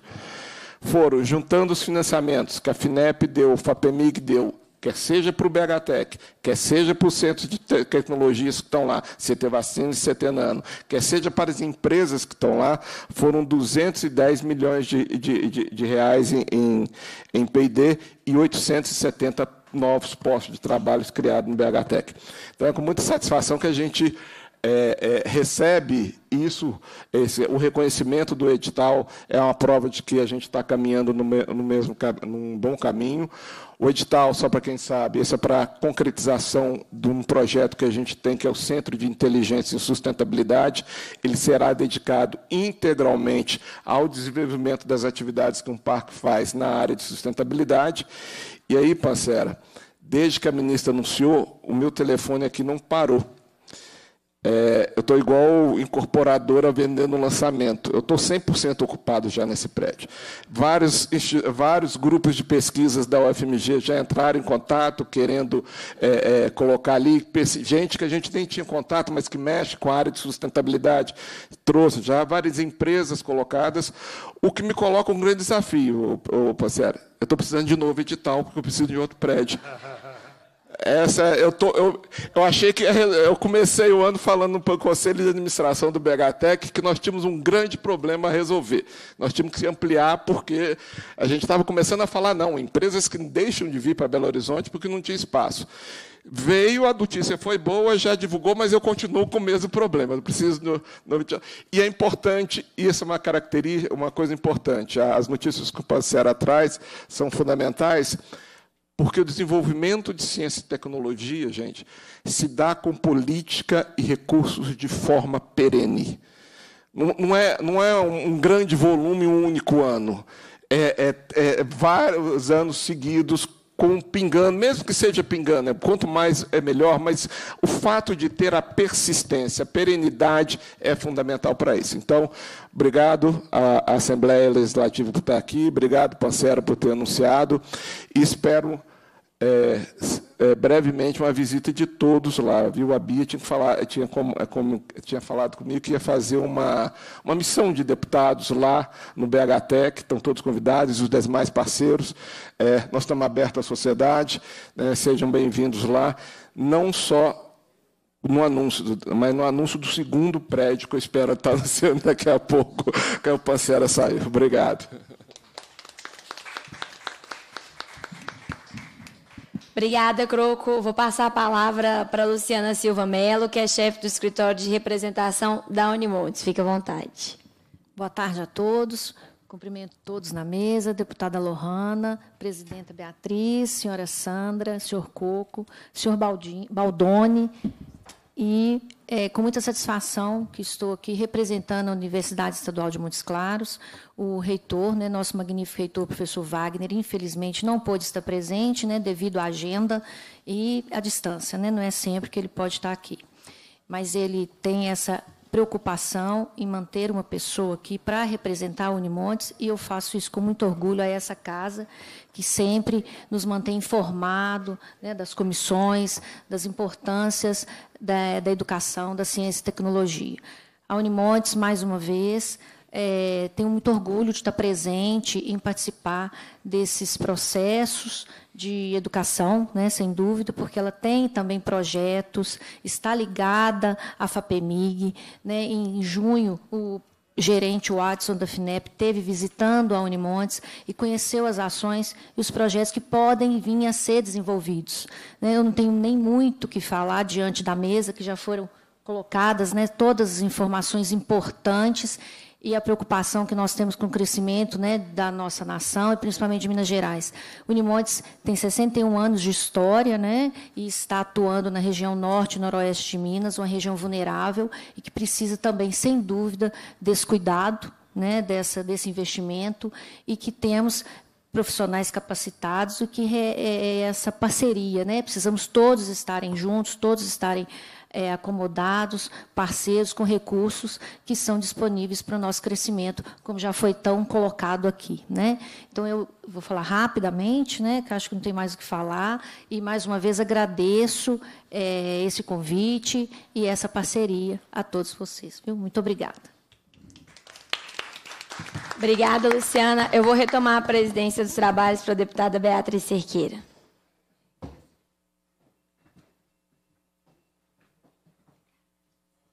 Passar agora as considerações. Obrigada, deputada Lohana. Passo as considerações da Andréia Macedo, aqui representando a PUB-BH, representando também a Inteligência Coletiva, e a nossa querida SBPC. Bem-vinda, Andréia. Gratidão, presidente Beatriz Cerqueira. Agradeço muito o convite para estar aqui representando, fazendo essa tripla representação, né? A, a PUB, é, nossa Associação de Professores né, de Belo Horizonte, a professora Marisa Barbalho não pôde estar presente. É, a inteligência coletiva, que, para quem não conhece, foi uma iniciativa também dessa casa, no, na presidência da professora Beatriz Cerqueira, junto com a professora Zélia, profeta da Fiocruz, e então professor Luciano Mendes, que era secretário regional da SPPC e que teve um papel importantíssimo na, durante a pandemia. Né? E a SPPC, que eu tenho o prazer de ser membro do seu conselho. Eu queria agradecer muito ao Celso Pancera pelas notícias maravilhosas que ele trouxe hoje aqui para a gente. Nós precisamos realmente comemorar toda notícia boa, isso é importantíssimo, principalmente depois desses anos tão difíceis que tivemos é, em relação, a, principalmente em relação à educação e à ciência, tecnologia e inovação no nosso país. Né? É, eu tenho um carinho muito especial pela FINEP, vários anos de membro de comitê de julgamento lá, saudade, fiquei feliz saber Ricardo Gataita voltou, é, saudades do Ricardo Rosa, que parece que não sei se continua ou não, Rodrigo Novaes, e tantos outros colegas é, de, é, muito especiais da FINEP. Então, fico muito feliz com a notícia né, do, da retomada dos financiamentos e também da transformação né, que você, Celso, teve um papel importantíssimo de transformar de um fundo de é, contábil em, em, em, fundo de financiamento, né?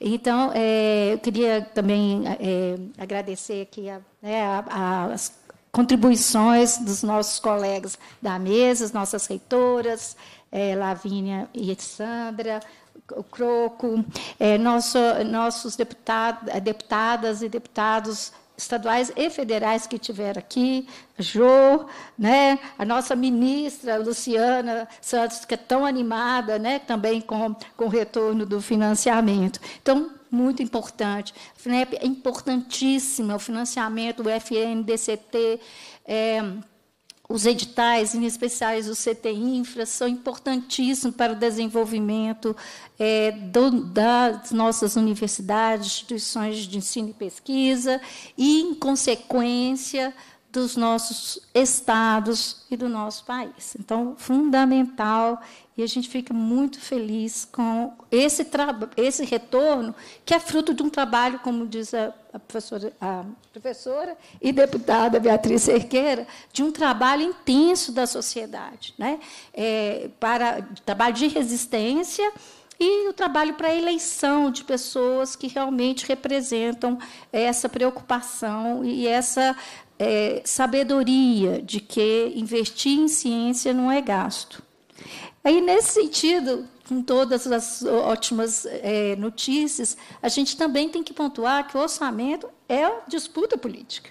Né? Então, também já colocado aqui, nós estamos até. Não, o fato de termos ele, é, eleito, eleitos candidatos que são é, mais comprometidos com, com essa ideal de é, civilização, de cidadania e de país que a gente quer, não implica que está tudo vencido. Né? Então, nós, infelizmente, tivemos o nosso FNDCT, né, o, nosso, o nosso investimento em ciência e tecnologia, que estava fora do limite do, do arcabouço fiscal, enquanto no Senado acabou perdendo essa, essa possibilidade no último julgamento na Câmara. Então, isso nos torna ainda mais importantes na luta pelo orçamento. E, nesse sentido, é, a ideia de que está lá na PLO agora, né, no projeto de lei de orçamento anual para ser julgado, que deixou o FNDCT com 50% dos reembolsáveis também nos, é, digamos assim, não desanimou, pelo contrário, nós continuamos uma luta né, para recuperar os 75% que é tradicionalmente é, destinados ao, ao fundo é, não reembolsável, né, com toda consideração que já foi apresentada importantíssima do investimento nas nossas empresas, para que saiam dessa matriz aqui em Minas, extrativista, da, indústria do século passado, como bem colocou o Croco, nós precisamos chegar na indústria 4.0, que já estão indo para 5.0 e a gente está atrasado, então a gente precisa de investimento nas nossas indústrias, principalmente para pesquisa e desenvolvimento mas 95% da pesquisa é feita nas instituições públicas né, e confessionais, algumas confessionais, é, de ensino superior. Né? Então, nós precisamos desse investimento e a nossa expectativa é de que hoje temos 50%, mas no ano que vem é, consigamos pelo menos os 60%, 65% que foram, inclusive, propostos pelo próprio Ministério, pelo, pelo né, Conselho é, da, do diretor lá da, da, do, do, Ministério, e também defendi, né, a SPPC defende os 75%, mas, no mínimo, os 60%. A gente tem uma luta aí. E, e a gente quer estar junto nessa defesa da FINEP. E, para finalizar, né, eu gostaria também de, de, de, ressaltar a importância que essa casa tem, tem tido, em especial essa comissão de Educação, Ciência e Tecnologia, nas duas presidências da professora Beatriz Cerqueira, como resistência para que nós tenhamos o mínimo do 1% da nossa FAPEMIG, para que nós tenhamos investimento nas nossas universidades estaduais, e federais, né? e tenho certeza de que estaremos juntos na continuidade desse trabalho, em defesa também dos nossos recursos da FINEP. Então, gratidão pelas boas, excelentes notícias. Do, é, a ciência voltou e o investimento está voltando. Né? Gratidão. Obrigada, Andréia. E para fechar a nossa audiência, eu vou passar para o pró-reitor de pesquisa e pós-graduação da Universidade Federal de São João del Rei, André Baldoni, que está aqui conosco. Bem-vindo. Muito obrigado, deputada Beatriz. Boa tarde a todos. Eu estou aqui representando o nosso reitor, o professor Marcelo Andrade, que está presidindo o nosso conselho universitário hoje. Então, muito obrigado pelo convite, é uma honra para nós estarmos aqui hoje. Então, acho que só registrar algumas palavras. É, acho que é importante, Beatriz, registrar a importância desse momento e dessa ação sua. Porque, considerando que a ciência, a tecnologia, a inovação são motores do desenvolvimento social e econômico, é, é, extremamente importante que a gente pare de discutir ciência só dentro da universidade. É importante que a gente saia, discuta nas ruas, discuta na Assembleia, porque a, a, ciência não pode mais ser atacada e fragilizada igual foi nos últimos seis anos. É, e exemplo disso, quando a gente fala em desenvolvimento social e econômico, o slide do professor né, Celso Panzera é importante colocar, quando ele coloca lá Israel, 5% quase de, de, investimento do PIB, é, Japão, é, Estados Unidos, Canadá, Alemanha, é, a lista coincide, a lista de, de, de investimento né, do PIB coincide coincide com o investimento em ciência e tecnologia, coincide com o desenvolvimento social e econômico. Então, a gente precisa olhar essas duas listas, é, porque a gente tem exemplo claro na história, que investir em ciência e tecnologia é investir em emprego, investir em desenvolvimento social e econômico de um país. E nós precisamos registrar também que a gente não pode mais ficar dependente é, tanto de tecnologia externa. É, se tem uma guerra, falta fertilizante agrícola para a nossa agricultura. Se tem uma pandemia, falta insumo básico, mínimo para a produção de medicamentos, de vacina, insumos básicos. Isso não pode acontecer mais na nossa história. E outra questão importante de se registrar, quando a gente pega a produção científica do país, comparada aos outros, às outras nações, a gente está em 13ª posição né, no ranking de produção científica. Mas quando a gente pega inovação, esse ranking, a gente está mais de 50 na posição comparada aos outros países. Então, a gente precisa reduzir essa lacuna que existe entre o nosso conhecimento que nós produzimos e o produto, a inovação que chega para a sociedade, é, para a comunidade como um todo, seja no setor público, seja no setor privado. E a FINEP tem um papel fundamental né, nesse processo. É, quando, quando, a professora Sandra coloca que a nossa produção científica reduziu né, em torno de 7% no país, é, equivalente aí à Ucrânia, um país que está em guerra, enquanto que outros países, como a China, aumentou sua produção científica, é importante registrar os dados do Estado de Minas Gerais. Quando eu, como pró-reitor de pesquisa e pós-graduação, acompanho a produção científica da nossa universidade, e me assustou muito os dados de 2002, reflexo aí do, do negacionismo dos últimos seis anos, reflexo do que a, da, que a Beatriz colocou, a deputada, em relação à FAPMIG também, dos problemas anteriores a 2020, né, a falta de investimento gerou um impacto muito significativo na nossa produção científica do Estado. Eu, comparando as 11 universidades federais do nosso Estado, foi possível observar que a produção reduziu de 9% em algumas, 9%, a 24% da produção científica. Então, isso é muito impactante e muito assustador quando comparado ao mundo e comparado ao Brasil. Né, e o impacto foi maior nas pequenas é, universidades. Então, isso é muito importante de registrar, que isso não pode acontecer mais, e aí reforça a importância né, dos colegas que colocaram aqui, da gente ter um investimento perene né, e duradouro, porque um equipamento parado, é, produção parada, é, é, é atrasar desenvolvimento econômico, social e científico de, de um país. Então, precisamos de, de políticas perenes que é, evitem apagões na ciência, igual tentaram fazer nos últimos seis anos. Então, é isso que eu gostaria de registrar e agradecer mais uma vez esse espaço, esse momento, Beatriz, e contem com a Universidade Federal de São João del Rei nesse processo. Muito obrigado. Muito obrigada. Quero registrar a presença da querida Jo Moraes aqui conosco. Gratidão. Quer fazer a consideração final? Vou passar para as considerações finais do Celso, que a gente está no limite do, do horário de todo mundo que está nessa mesa. Então, te passo as considerações para finalizarmos essa importante audiência. É, eu, deputada Bia, eu já estou falando de Bia, né? mas é porque a gente, esses últimos dias tem sido mais intenso nossa ação. Deputada Joa, prazer estar contigo. É que realmente meu voo sai 14h40. Eu vou para São Paulo, de lá já embarco para o exterior, então estou numa correria, mas foi uma satisfação estar aqui, é, fazer esses anúncios, mas também falar de ciência. E nós, com certeza, voltaremos para Minas Gerais muitas vezes no próximo período, para fazer chover nessa horta aí. Importante, né? É um prazer estar com vocês, é muito legal mesmo, muito bom ser recebido aqui é, por esse povo maravilhoso, mas eu tenho que sair batido, corrido, senão eu perco o voo e daqui até o aeroporto ainda faço reunião de diretoria né? que é para deliberar as coisas. Vamos para a China, eu embarco essa noite para a China. Né? Obrigado e voltarei outras vezes aqui para conversar com vocês. Posso fechar, gente? Pode. Cumprida a finalidade da reunião, a presidência agradece a presença de todas as pessoas Parabeniza o FMG pelos seus 96 anos de existência.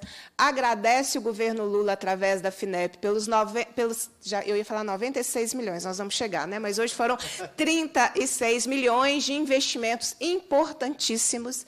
Então, muito obrigada. Leve o nosso nosso agradecimento ao presidente Lula é, a nossa querida FINEP por essa importante atuação estratégica aqui em Minas Gerais. Agradeço a todas as lideranças e instituições que estiveram conosco, porque é isso, é um processo que a gente vai construindo e consolidando de investimento na ciência, pesquisa e inovação. Agradeço o presidente Tadeu, que recebeu o presidente da FINEP, nossas reitoras e lideranças que estiveram aqui conosco ah, e convoco os membros para a próxima reunião ordinária, determino a lavratura da ata e encerro os trabalhos dessa audiência com muita alegria, vendo como a ciência, a pesquisa e a inovação estão sendo valorizadas pelo governo federal e com esse importante anúncio inicial, acho que podemos batizar assim, um anúncio inicial de 36 milhões de reais de investimentos na área da ciência, pesquisa e inovação no nosso estado.